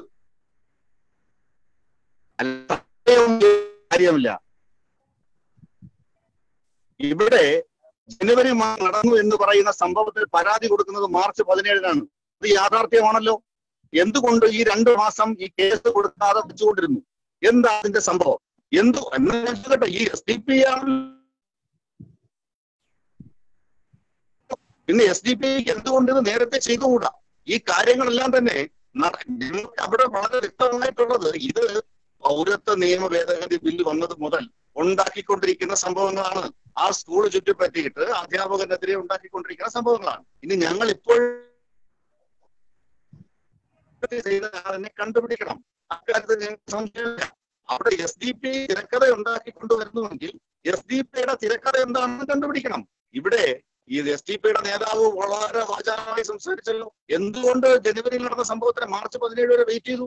എന്തുകൊണ്ടാണ് അപ്പൊ നിങ്ങൾ തിരക്കഥ എങ്ങനെ ഉണ്ടാക്കിയത്? അപ്പൊ നിങ്ങൾക്ക് ചില നിരപരാധികളെ ഇതിൽ കൊടുക്കണമെന്ന് നിങ്ങൾക്ക് പ്ലാൻ ഉണ്ട് നിങ്ങൾക്കുള്ള ആസൂത്രണമുണ്ട്. എന്തുകൊണ്ടാണ് ആ ആസൂത്രണം നിങ്ങൾ ഉണ്ടാക്കി എന്നുള്ളത്? നിങ്ങൾ പൗരത്വ നിയമ ഭേദഗതി മുന്നിൽ ആ സമയത്തുള്ള ഫേസ്ബുക്ക് പോസ്റ്റ് എടുത്ത് വെച്ച് പരിശോധിച്ചാൽ മതി. നിങ്ങൾക്ക് വ്യക്തമായിട്ട് മനസ്സിലാകും എന്തുകൊണ്ടാണ് നിങ്ങൾ ഈ പ്ലാൻ ചെയ്തതെന്ന് ഞങ്ങൾക്ക് വ്യക്തമായ ഒരു ധാരണയുണ്ട്. പക്ഷെ ഒരു കാര്യം ഞങ്ങൾ വളരെ വ്യക്തമായി പറയാം. ഈ പെൺകുട്ടിയുടെ സംഭവത്തിൽ ഇങ്ങനെയൊന്നുമല്ല ചെയ്യേണ്ടത്. ഈ പെൺകുട്ടിയുടെ സംഭവത്തിൽ ഇതൊരു ഇതൊരു കൊച്ചു പെൺകുട്ടിയാണ്. ആ കൊച്ചു പെൺകുട്ടിയെ ആരാണ് പീഡിപ്പിച്ചു എന്നുള്ളത് പുറത്തു കൊണ്ടുവരണം. അത് ഏത് തരത്തിലുള്ള അന്വേഷണം വേണമെങ്കിലും കൊണ്ടുവരാം. നിങ്ങൾ വളരെ വീരകഥകൾ പറഞ്ഞല്ലോ. ഇതിനിടയ്ക്ക് എന്തെല്ലാം സംഭവങ്ങൾ നടന്നു എന്നൊക്കെ പറഞ്ഞിട്ട് നിങ്ങൾ A B V P R S S വളരെ വിചിത്രമായ കഥകൾ പറഞ്ഞല്ലോ. എസ് ഡി പി എന്ന പാർട്ടിയെ കേരളത്തിൽ ആർക്കും അറിയാത്തത് എന്റെ സുഹൃത്തെ? എസ് ഡി പി കേരളത്തിൽ ചെയ്തുകൊണ്ടിരിക്കുന്ന സംഭവം ഞാൻ അങ്ങോട്ടൊന്നും പോകുന്നില്ല. കാരണം ഇവിടെ ഏറ്റവും പ്രധാനപ്പെട്ട പ്രശ്നം പാലത്തായി വിഷയമാണ്. ഈ പെൺകുട്ടി പീഡിപ്പിക്കപ്പെട്ട സംഭവമാണ്. അതിന് മറ്റ് കഥകൾ വളച്ചൊടിക്കുന്നതിനോട് എനിക്ക് വ്യക്തിപരമായി താല്പര്യമില്ല. മറ്റ് ഇഷ്യൂസ് കൊണ്ടുവരുന്നതിനോട് എനിക്ക് താല്പര്യമില്ല. പക്ഷെ ഒരു കാര്യം ഞാൻ നിങ്ങളോട് പറയാം. നിങ്ങൾ എത്രയൊക്കെ ശ്രമിച്ചാലും ശരി ഒരു കാര്യത്തിൽ ഇതിന്റെ യാഥാർത്ഥ്യം പുറത്തു വന്നേ മതിയാവും. കാരണം ഇവിടുത്തെ ഏറ്റവും പ്രധാനപ്പെട്ട പ്രശ്നം ഒരു പെൺകുട്ടിയെയാണ് പീഡിപ്പിച്ചിരിക്കുന്നത് പതിനൊന്ന് വയസ്സായി. അത് കേരളത്തിലെ ഞെട്ടിക്കുന്ന സംഭവമാണ്. ഈ അധ്യാപകൻ ചെയ്തിട്ടില്ല എന്ന് അദ്ദേഹം പറയുന്നു. ആരാണ് ചെയ്തു എന്നുള്ളത് യാഥാർത്ഥ്യം പുറത്തു വരണം. സത്യാവസ്ഥ പുറത്തു വന്നേ മതിയാവൂ. എസ് ഡി പി ഉണ്ടാക്ക ആ കുട്ടിയെ ആരോ പീഡിപ്പിച്ചു എന്നുള്ളതിന് സംശയമൊന്നുമില്ലല്ലോ. അവിടെ മെഡിക്കൽ റിപ്പോർട്ടുണ്ട് എന്ത് തന്നെ ആയിരുന്നാലും ശരി. അവിടെ ആ കുട്ടി ഈ ഈ സമയത്ത് അധ്യാപകൻ ഇല്ലായിരുന്നു എന്ന് ആ സംഭവ സ്ഥലത്ത് ഇല്ലായിരുന്നു എന്ന് പോലീസ് റിപ്പോർട്ട് കോടതിയിൽ കൊടുത്തിട്ടുണ്ട്. അപ്പൊ എന്താണെന്ന് അന്വേഷിക്കട്ടെ. ഇതിന് ഏത് തരത്തിലുള്ള അന്വേഷണം വെച്ചോട്ടെ. നിങ്ങൾ നിങ്ങളുടെ കഴിവിന്റെ പരമാവധി പ്രവർത്തിച്ചോ. എന്ത് വേണോ കണ്ടുപിടിച്ച് അത് പുറത്തു കൊണ്ടുവരൂ. അത് ഈ നാടിന്റെ ആവശ്യമാണ്. ഞങ്ങൾ വളരെ വ്യക്തമായി പറയുന്നു എസ് ഡി പി ഐ ഉണ്ടാക്കുന്ന ഈ ആസൂത്രണം ഉണ്ടല്ലോ ആ ആസൂത്രണത്തെ അത് ജനങ്ങളുടെ മുമ്പിൽ തിരിച്ചറിഞ്ഞേ മതിയാവും. പിന്നെ ഇപ്പോ മാർക്സിസ്റ്റ് പാർട്ടി ഈ കേസ് പുനരന്വേഷണത്തിന് ഒരു സാഹചര്യം ഒരുക്കിയിരിക്കുന്നു. അത് മാർക്സിസ്റ്റ് പാർട്ടിയുടെയും ജയരാജന്റെ ഇടപെടലാണ്. ഇവിടെ മുസ്ലിം മതന്യൂനപക്ഷ പ്രീണനത്തിന് വേണ്ടി സി പി എം എടുക്കുന്ന ഒരു സമീപനമാണ് ഇവിടെ ഉള്ളത്. ഇവിടെ നിങ്ങൾ പറയുന്ന C P M B J P ഒരു C P M B J P ധാരണയില്ല. അത് കേരളത്തിൽ ഉണ്ടാകാനും പോകുന്നില്ല. അത്തരത്തിൽ ആലോചിക്കാനും പോകുന്നില്ല. കേരളത്തിലെ ജനങ്ങൾക്ക് അത്തരം വിഷയങ്ങളിൽ താല്പര്യവുമില്ല.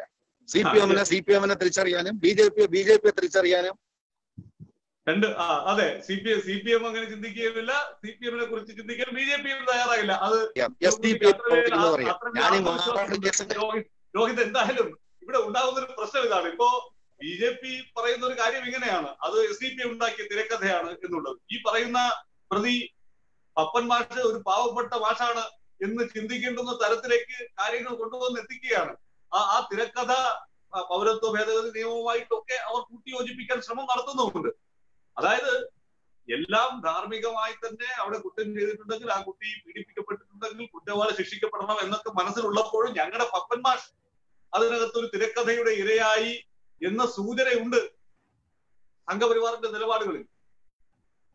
അല്ല അതുകൊണ്ടാണ് ഈ വിഷയത്തെ B J P N R സിയും സി എയും വിഷയത്തെ ഒക്കെ കണക്ട് ചെയ്ത് ഇതിനൊരു വർഗീയവൽക്കരിക്കാനുള്ള ശ്രമം നടത്തിക്കൊണ്ടിരിക്കുന്നത്. ഇപ്പൊ ബി ജെ പിയുടെ നേതാവ് പപ്പൻ മാഷെ വിശുദ്ധനാക്കി പ്രഖ്യാപിച്ചു. അദ്ദേഹം ഒരു പാവപ്പെട്ട മനുഷ്യനാണെന്നൊക്കെയാണ് ബി ജെ പിയുടെ നേതാവ് പറയുന്നത്. ഞാൻ അങ്ങനെ ഒന്നും പറഞ്ഞിട്ടില്ല. അദ്ദേഹം പാവപ്പെട്ട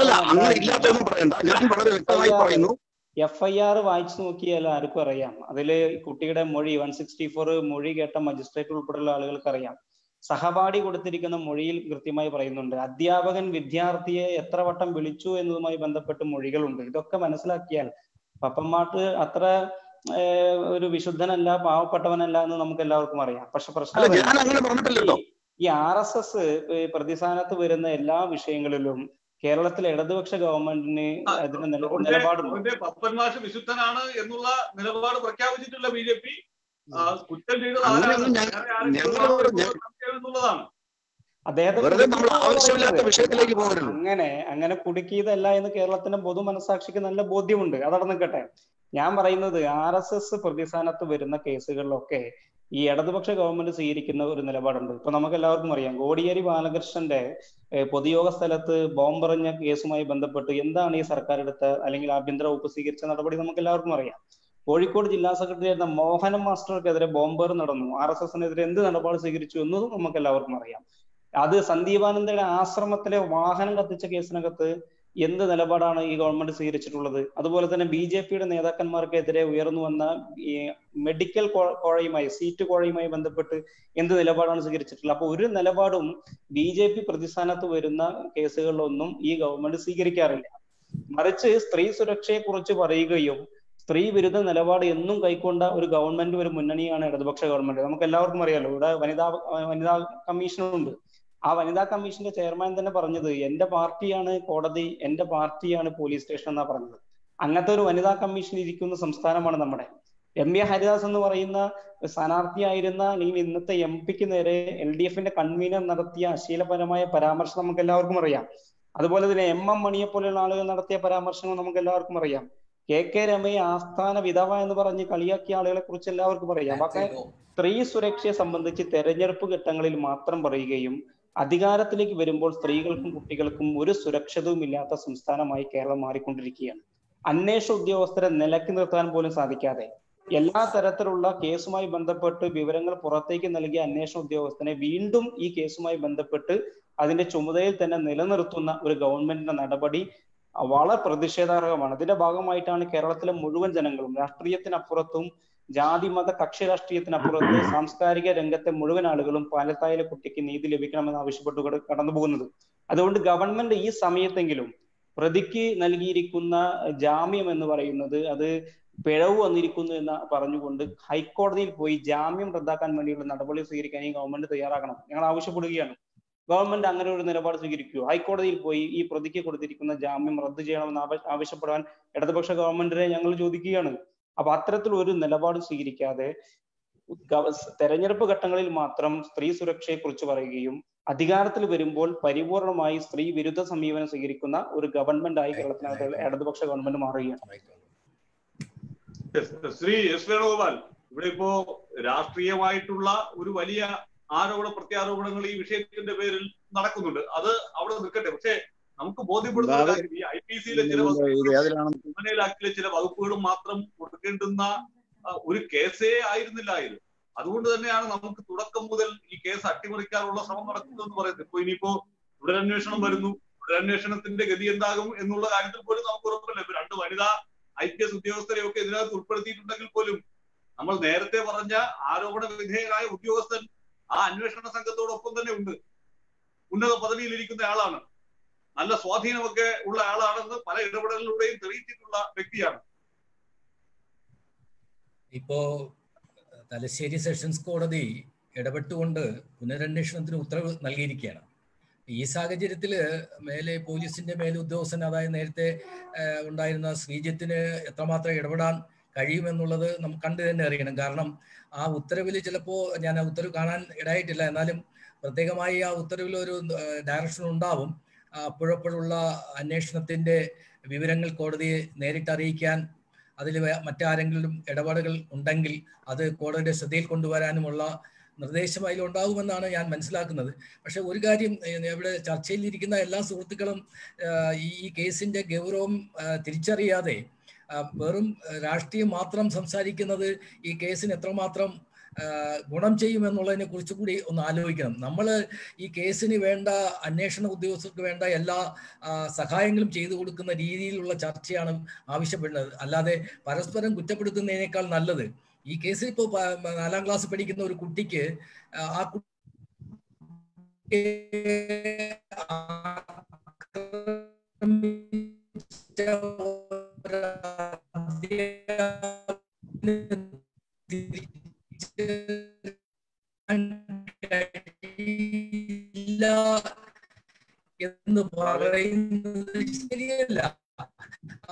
പതിനൊന്ന് വയസ്സായെന്നാണ് ഞാൻ മന- മനസ്സിലാക്കുന്നത്. ആ കുട്ടിക്ക് എന്തായാലും അപ്പൊ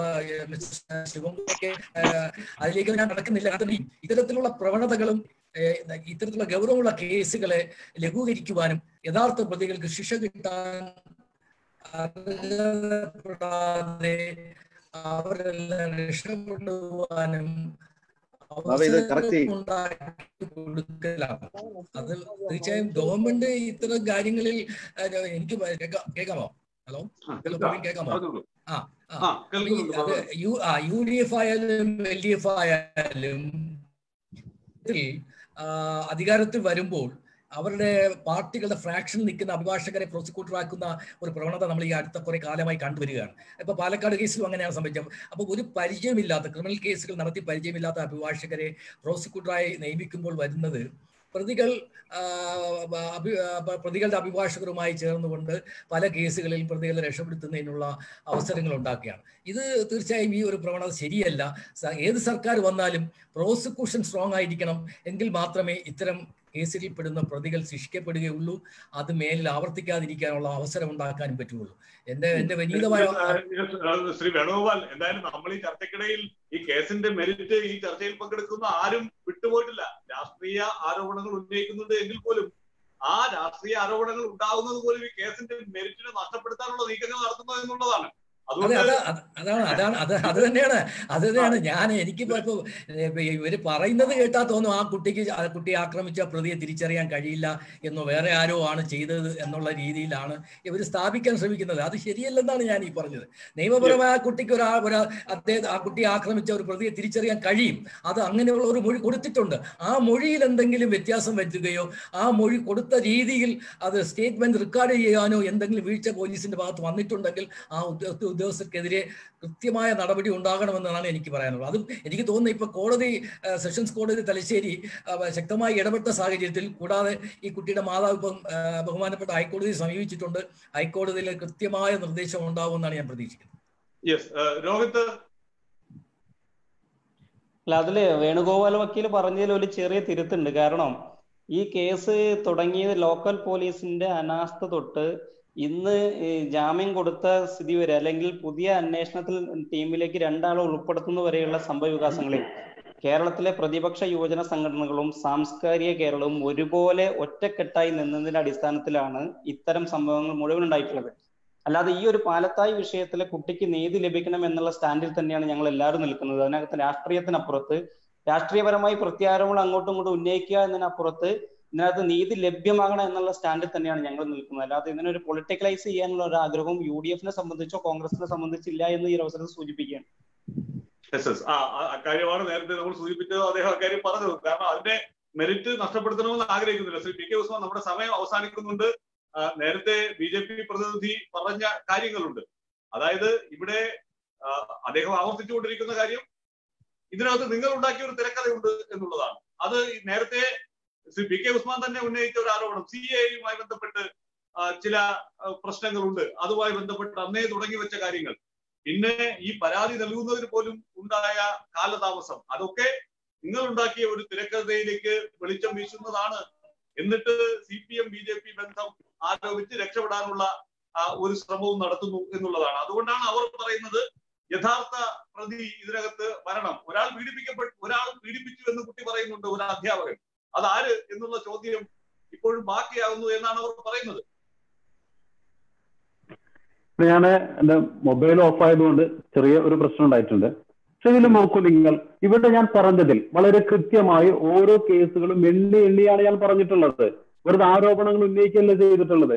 ഇവിടെ നോക്കൂ ഈ കുട്ടി പരാതി കൊടുക്കാൻ വൈകി. എന്തുകൊണ്ടാണ് കുട്ടി പരാതി കൊടുക്കാൻ വൈകുന്നത്? ആ പിന്നെ ഏഷ്യാനെറ്റിൽ നൗഫലുമായി നടന്നിട്ടുള്ള പിന്നെ അത് ആ കുട്ടിയുടെ കൂട്ടുകാരിയുടെ ഇന്റർവ്യൂവിൽ വളരെ വ്യക്തമായിട്ട് ആ കുട്ടി പറയുന്നുണ്ട് എനിക്ക് ഉമ്മ മാത്രമാണുള്ളത്. വളരെ നിഷ്കളങ്കമായിട്ട് നമുക്ക് പിന്നെ പ്രയാസം തോന്നുമ്പോൾ ആ വാക്കുകൾ കേൾക്കുമ്പോ എനിക്ക് ഉമ്മ മാത്രമല്ല എന്റെ ഉമ്മ എന്തെങ്കിലും ചെയ്താൽ എനിക്ക് ആരാണുള്ളത്? എന്ന് ഭയപ്പെട്ട് നിൽക്കുന്ന ഒരു സാഹചര്യമാണ് ഉണ്ടായിട്ടുള്ളത്.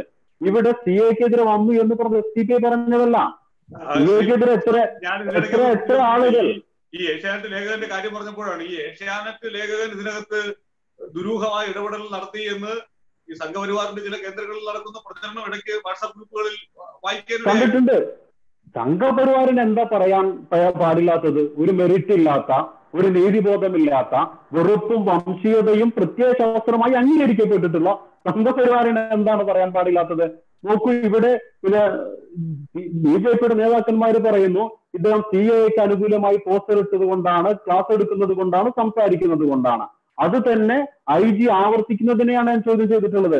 ഇവിടെ ഇത്രയും കൃത്യമായ ഒരു പിന്നെ നിയമപരമായി ഒരുപാട് വിവേചനങ്ങൾ കാണിച്ചിട്ടുള്ള കൃത്യവിലോപം നടത്തിയിട്ടുള്ള ഐ ജിയെ സർവീസിൽ നിന്ന് മാറ്റണം എന്ന ഡിമാൻഡ് വെക്കാൻ ആരോ തയ്യാറായിട്ടുള്ളത്? ഇവിടെ യു ഡി എഫ് ആണെങ്കിലും എൽ ഡി എഫ് ആണെങ്കിലും ഒക്കെ ഈ ഉദ്യോഗസ്ഥന്മാരെ സംരക്ഷിച്ചുള്ള ഒരു നിലപാടാണ് എടുത്തിട്ടുള്ളത്. വളരെ കൃത്യമായിട്ട് അവർ പറയേണ്ടിയിരുന്നു ഈ ശ്രീജിത്തിനെ സർവീസിൽ നിന്ന് മാറ്റണം ഒരു ഡിമാൻഡ് വെച്ചിട്ടില്ല. ഇവിടെ അഡ്വക്കേറ്റ് വേണുഗോപാൽ പറഞ്ഞത് പുനരന്വേഷണം. പുനരന്വേഷണത്തിന് കോടതി പറഞ്ഞിട്ടില്ല. തുടരന്വേഷണമാണ്. പറഞ്ഞു മജിസ്ട്രേറ്റ് കോടതിക്ക് പിന്നെ അത് പറയാൻ കഴിയുമെന്നറിയില്ല ഈ തുടരന്വേഷണം സർക്കാരിന്റെ ഡിമാൻഡ് ആയിട്ട് വരേണ്ടതാണ്. സർക്കാർ ഉത്തരവിടേണ്ടതാണ്. ആ തുടരന്വേഷണം നടന്നാലാണ് ഇതിലെ കാര്യങ്ങൾ മുന്നോട്ട് വരികയുള്ളൂ. ഇവിടെ എപ്പോഴും പോലീസ് ഓഫീസർമാരെ സഹായിക്കുന്ന നിലപാടാണ് എടുത്തിട്ടുള്ളത്. വാളാർ കേസിലൂടെ പറഞ്ഞല്ലോ. അന്ന് ഡി എസ് പി ആയിരുന്ന ആൾ എസ് പി ആയിട്ട് ഉയർന്നു വരുന്നു. ഈ മെറിറ്റ് നോക്കി അതിനെതിരെ എന്തെങ്കിലും ഒരു കമ എന്നൊരു അക്ഷരം യു ഡി എഫിന്റെ ഭാഗത്തുനിന്ന് നിന്നുണ്ടായിട്ടുണ്ടോ അപ്പൊ ഇവരൊക്കെ ഭരണത്തിലിരിക്കുമ്പോൾ പോലീസ് ഓഫീസർമാരെ സംരക്ഷിക്കുന്ന കൃത്യമായ നിലപാടാണ് എടുത്തിട്ടുള്ളത്. ഇത് ചൂണ്ടിക്കാണിക്കുകയാണ് എസ് ടി ബി ചെയ്തിട്ടുള്ളത്. ഇതിൽ രാഷ്ട്രീയം കലർത്തുന്നതല്ല. വളരെ കൃത്യമായി ഞങ്ങളിത് ഓരോ ഓരോ സംഭവങ്ങളും അക്കമിട്ട് അക്കമിട്ട് ഞങ്ങളിവിടെ പറഞ്ഞിട്ടുണ്ട്. ഈ ഗവൺമെന്റ് വന്നതിന് ശേഷം ആർ എസ് എസുമായിട്ടുള്ള ഒരു ഒരു ഭയപ്പെടുന്നുണ്ട്. വളരെ കൃത്യമായി പറഞ്ഞാൽ പിണറായി വിജയൻ കേരളത്തിന്റെ ആഭ്യന്തര വകുപ്പ് അഞ്ചു കൊല്ലത്തേക്ക് സംഘപരിവാറിന്റെ പാട്ടത്തിന് കൊടുത്തിരിക്കുകയാണ് എന്ന് ഒരു മലയാളി സംശയിച്ചാൽ അവരെ കുറ്റം പറയാൻ പറ്റാത്ത ഒരു സാഹചര്യം ഇവിടെ നിലനിൽക്കുന്നുണ്ട്. മുഖ്യമന്ത്രിയുടെ ഓർഡർ അല്ല ബാക്കൂരിൽ നിന്ന് കിട്ടുന്ന ഓർഡറാണ് കേരള പോലീസ് നടപ്പിലാക്കുന്നത് എന്ന് ബോധ്യം വരുന്ന തരത്തിലാണ് കാര്യങ്ങൾ മുന്നോട്ട് പോകുന്നത്. ഇത് കേരളത്തിലെ ജനങ്ങൾ തിരിച്ചറിയുന്നു എന്ന് വരുമ്പോഴാണ് സി പി എം അടിസ്ഥാനപരമായ ആരോപണങ്ങൾ ഉന്നയിക്കുന്നത്. അതല്ലെങ്കിൽ ബി ജെ പി അടിസ്ഥാനപരമായ ആരോപണങ്ങൾ ഉന്നയിക്കുന്നത് ഇത് വളരെ കൃത്യമാണ്. ഇതിൽ പിന്നെ രാഷ്ട്രീയ ജാഗ്രത ഉള്ളത് കൊണ്ടാണ് ഈ പാലത്തായി കേസ് ഇതേപോലെ വന്നിട്ടുള്ളത്. വാളയാർ കേസിൽ ഇപ്പോഴും സമരങ്ങൾ നടന്നുകൊണ്ടിരിക്കുന്നത് ഈ രാഷ്ട്രീയ ജാഗ്രത ഉള്ളത് കൊണ്ടാണ്.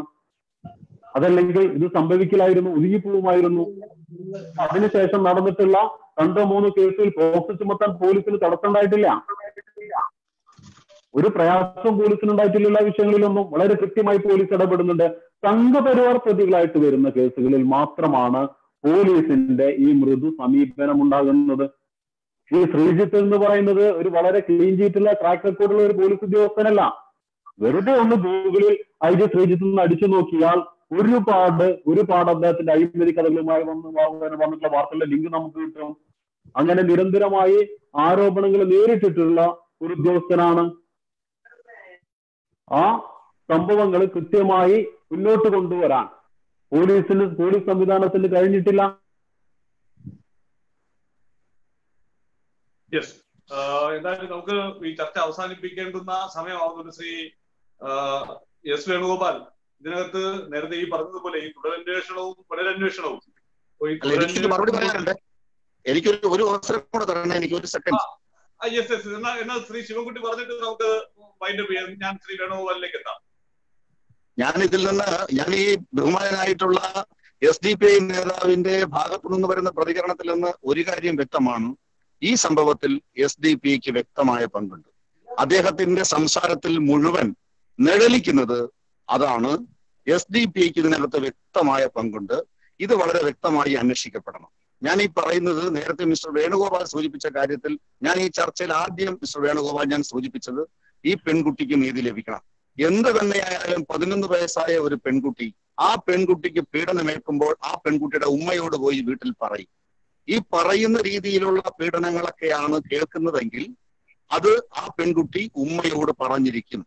ഈ സംഭവം നടന്ന ദിവസങ്ങളിൽ തന്നെ പറഞ്ഞിട്ടുണ്ടാകും. ഇവിടെ വ്യക്തമാണ് കാര്യങ്ങൾ പൂർണമായി അന്വേഷിച്ചേ മതിയാവൂ. ഈ പെൺകുട്ടിക്ക് നീതി കിട്ടണം. അത് പ്രതി ആരായാലും ആര് തന്നെ ആയാലും ഇവിടെ ഇവിടെ പോലീസ് ആ ക്രൈംബ്രാഞ്ച് അന്വേഷിച്ച് കോടതി കൊടുത്ത റിപ്പോർട്ടിന്റെ അടിസ്ഥാനത്തിലാണ് ആ അധ്യാപകന് ജാമ്യം കിട്ടിയിട്ടുള്ളത്.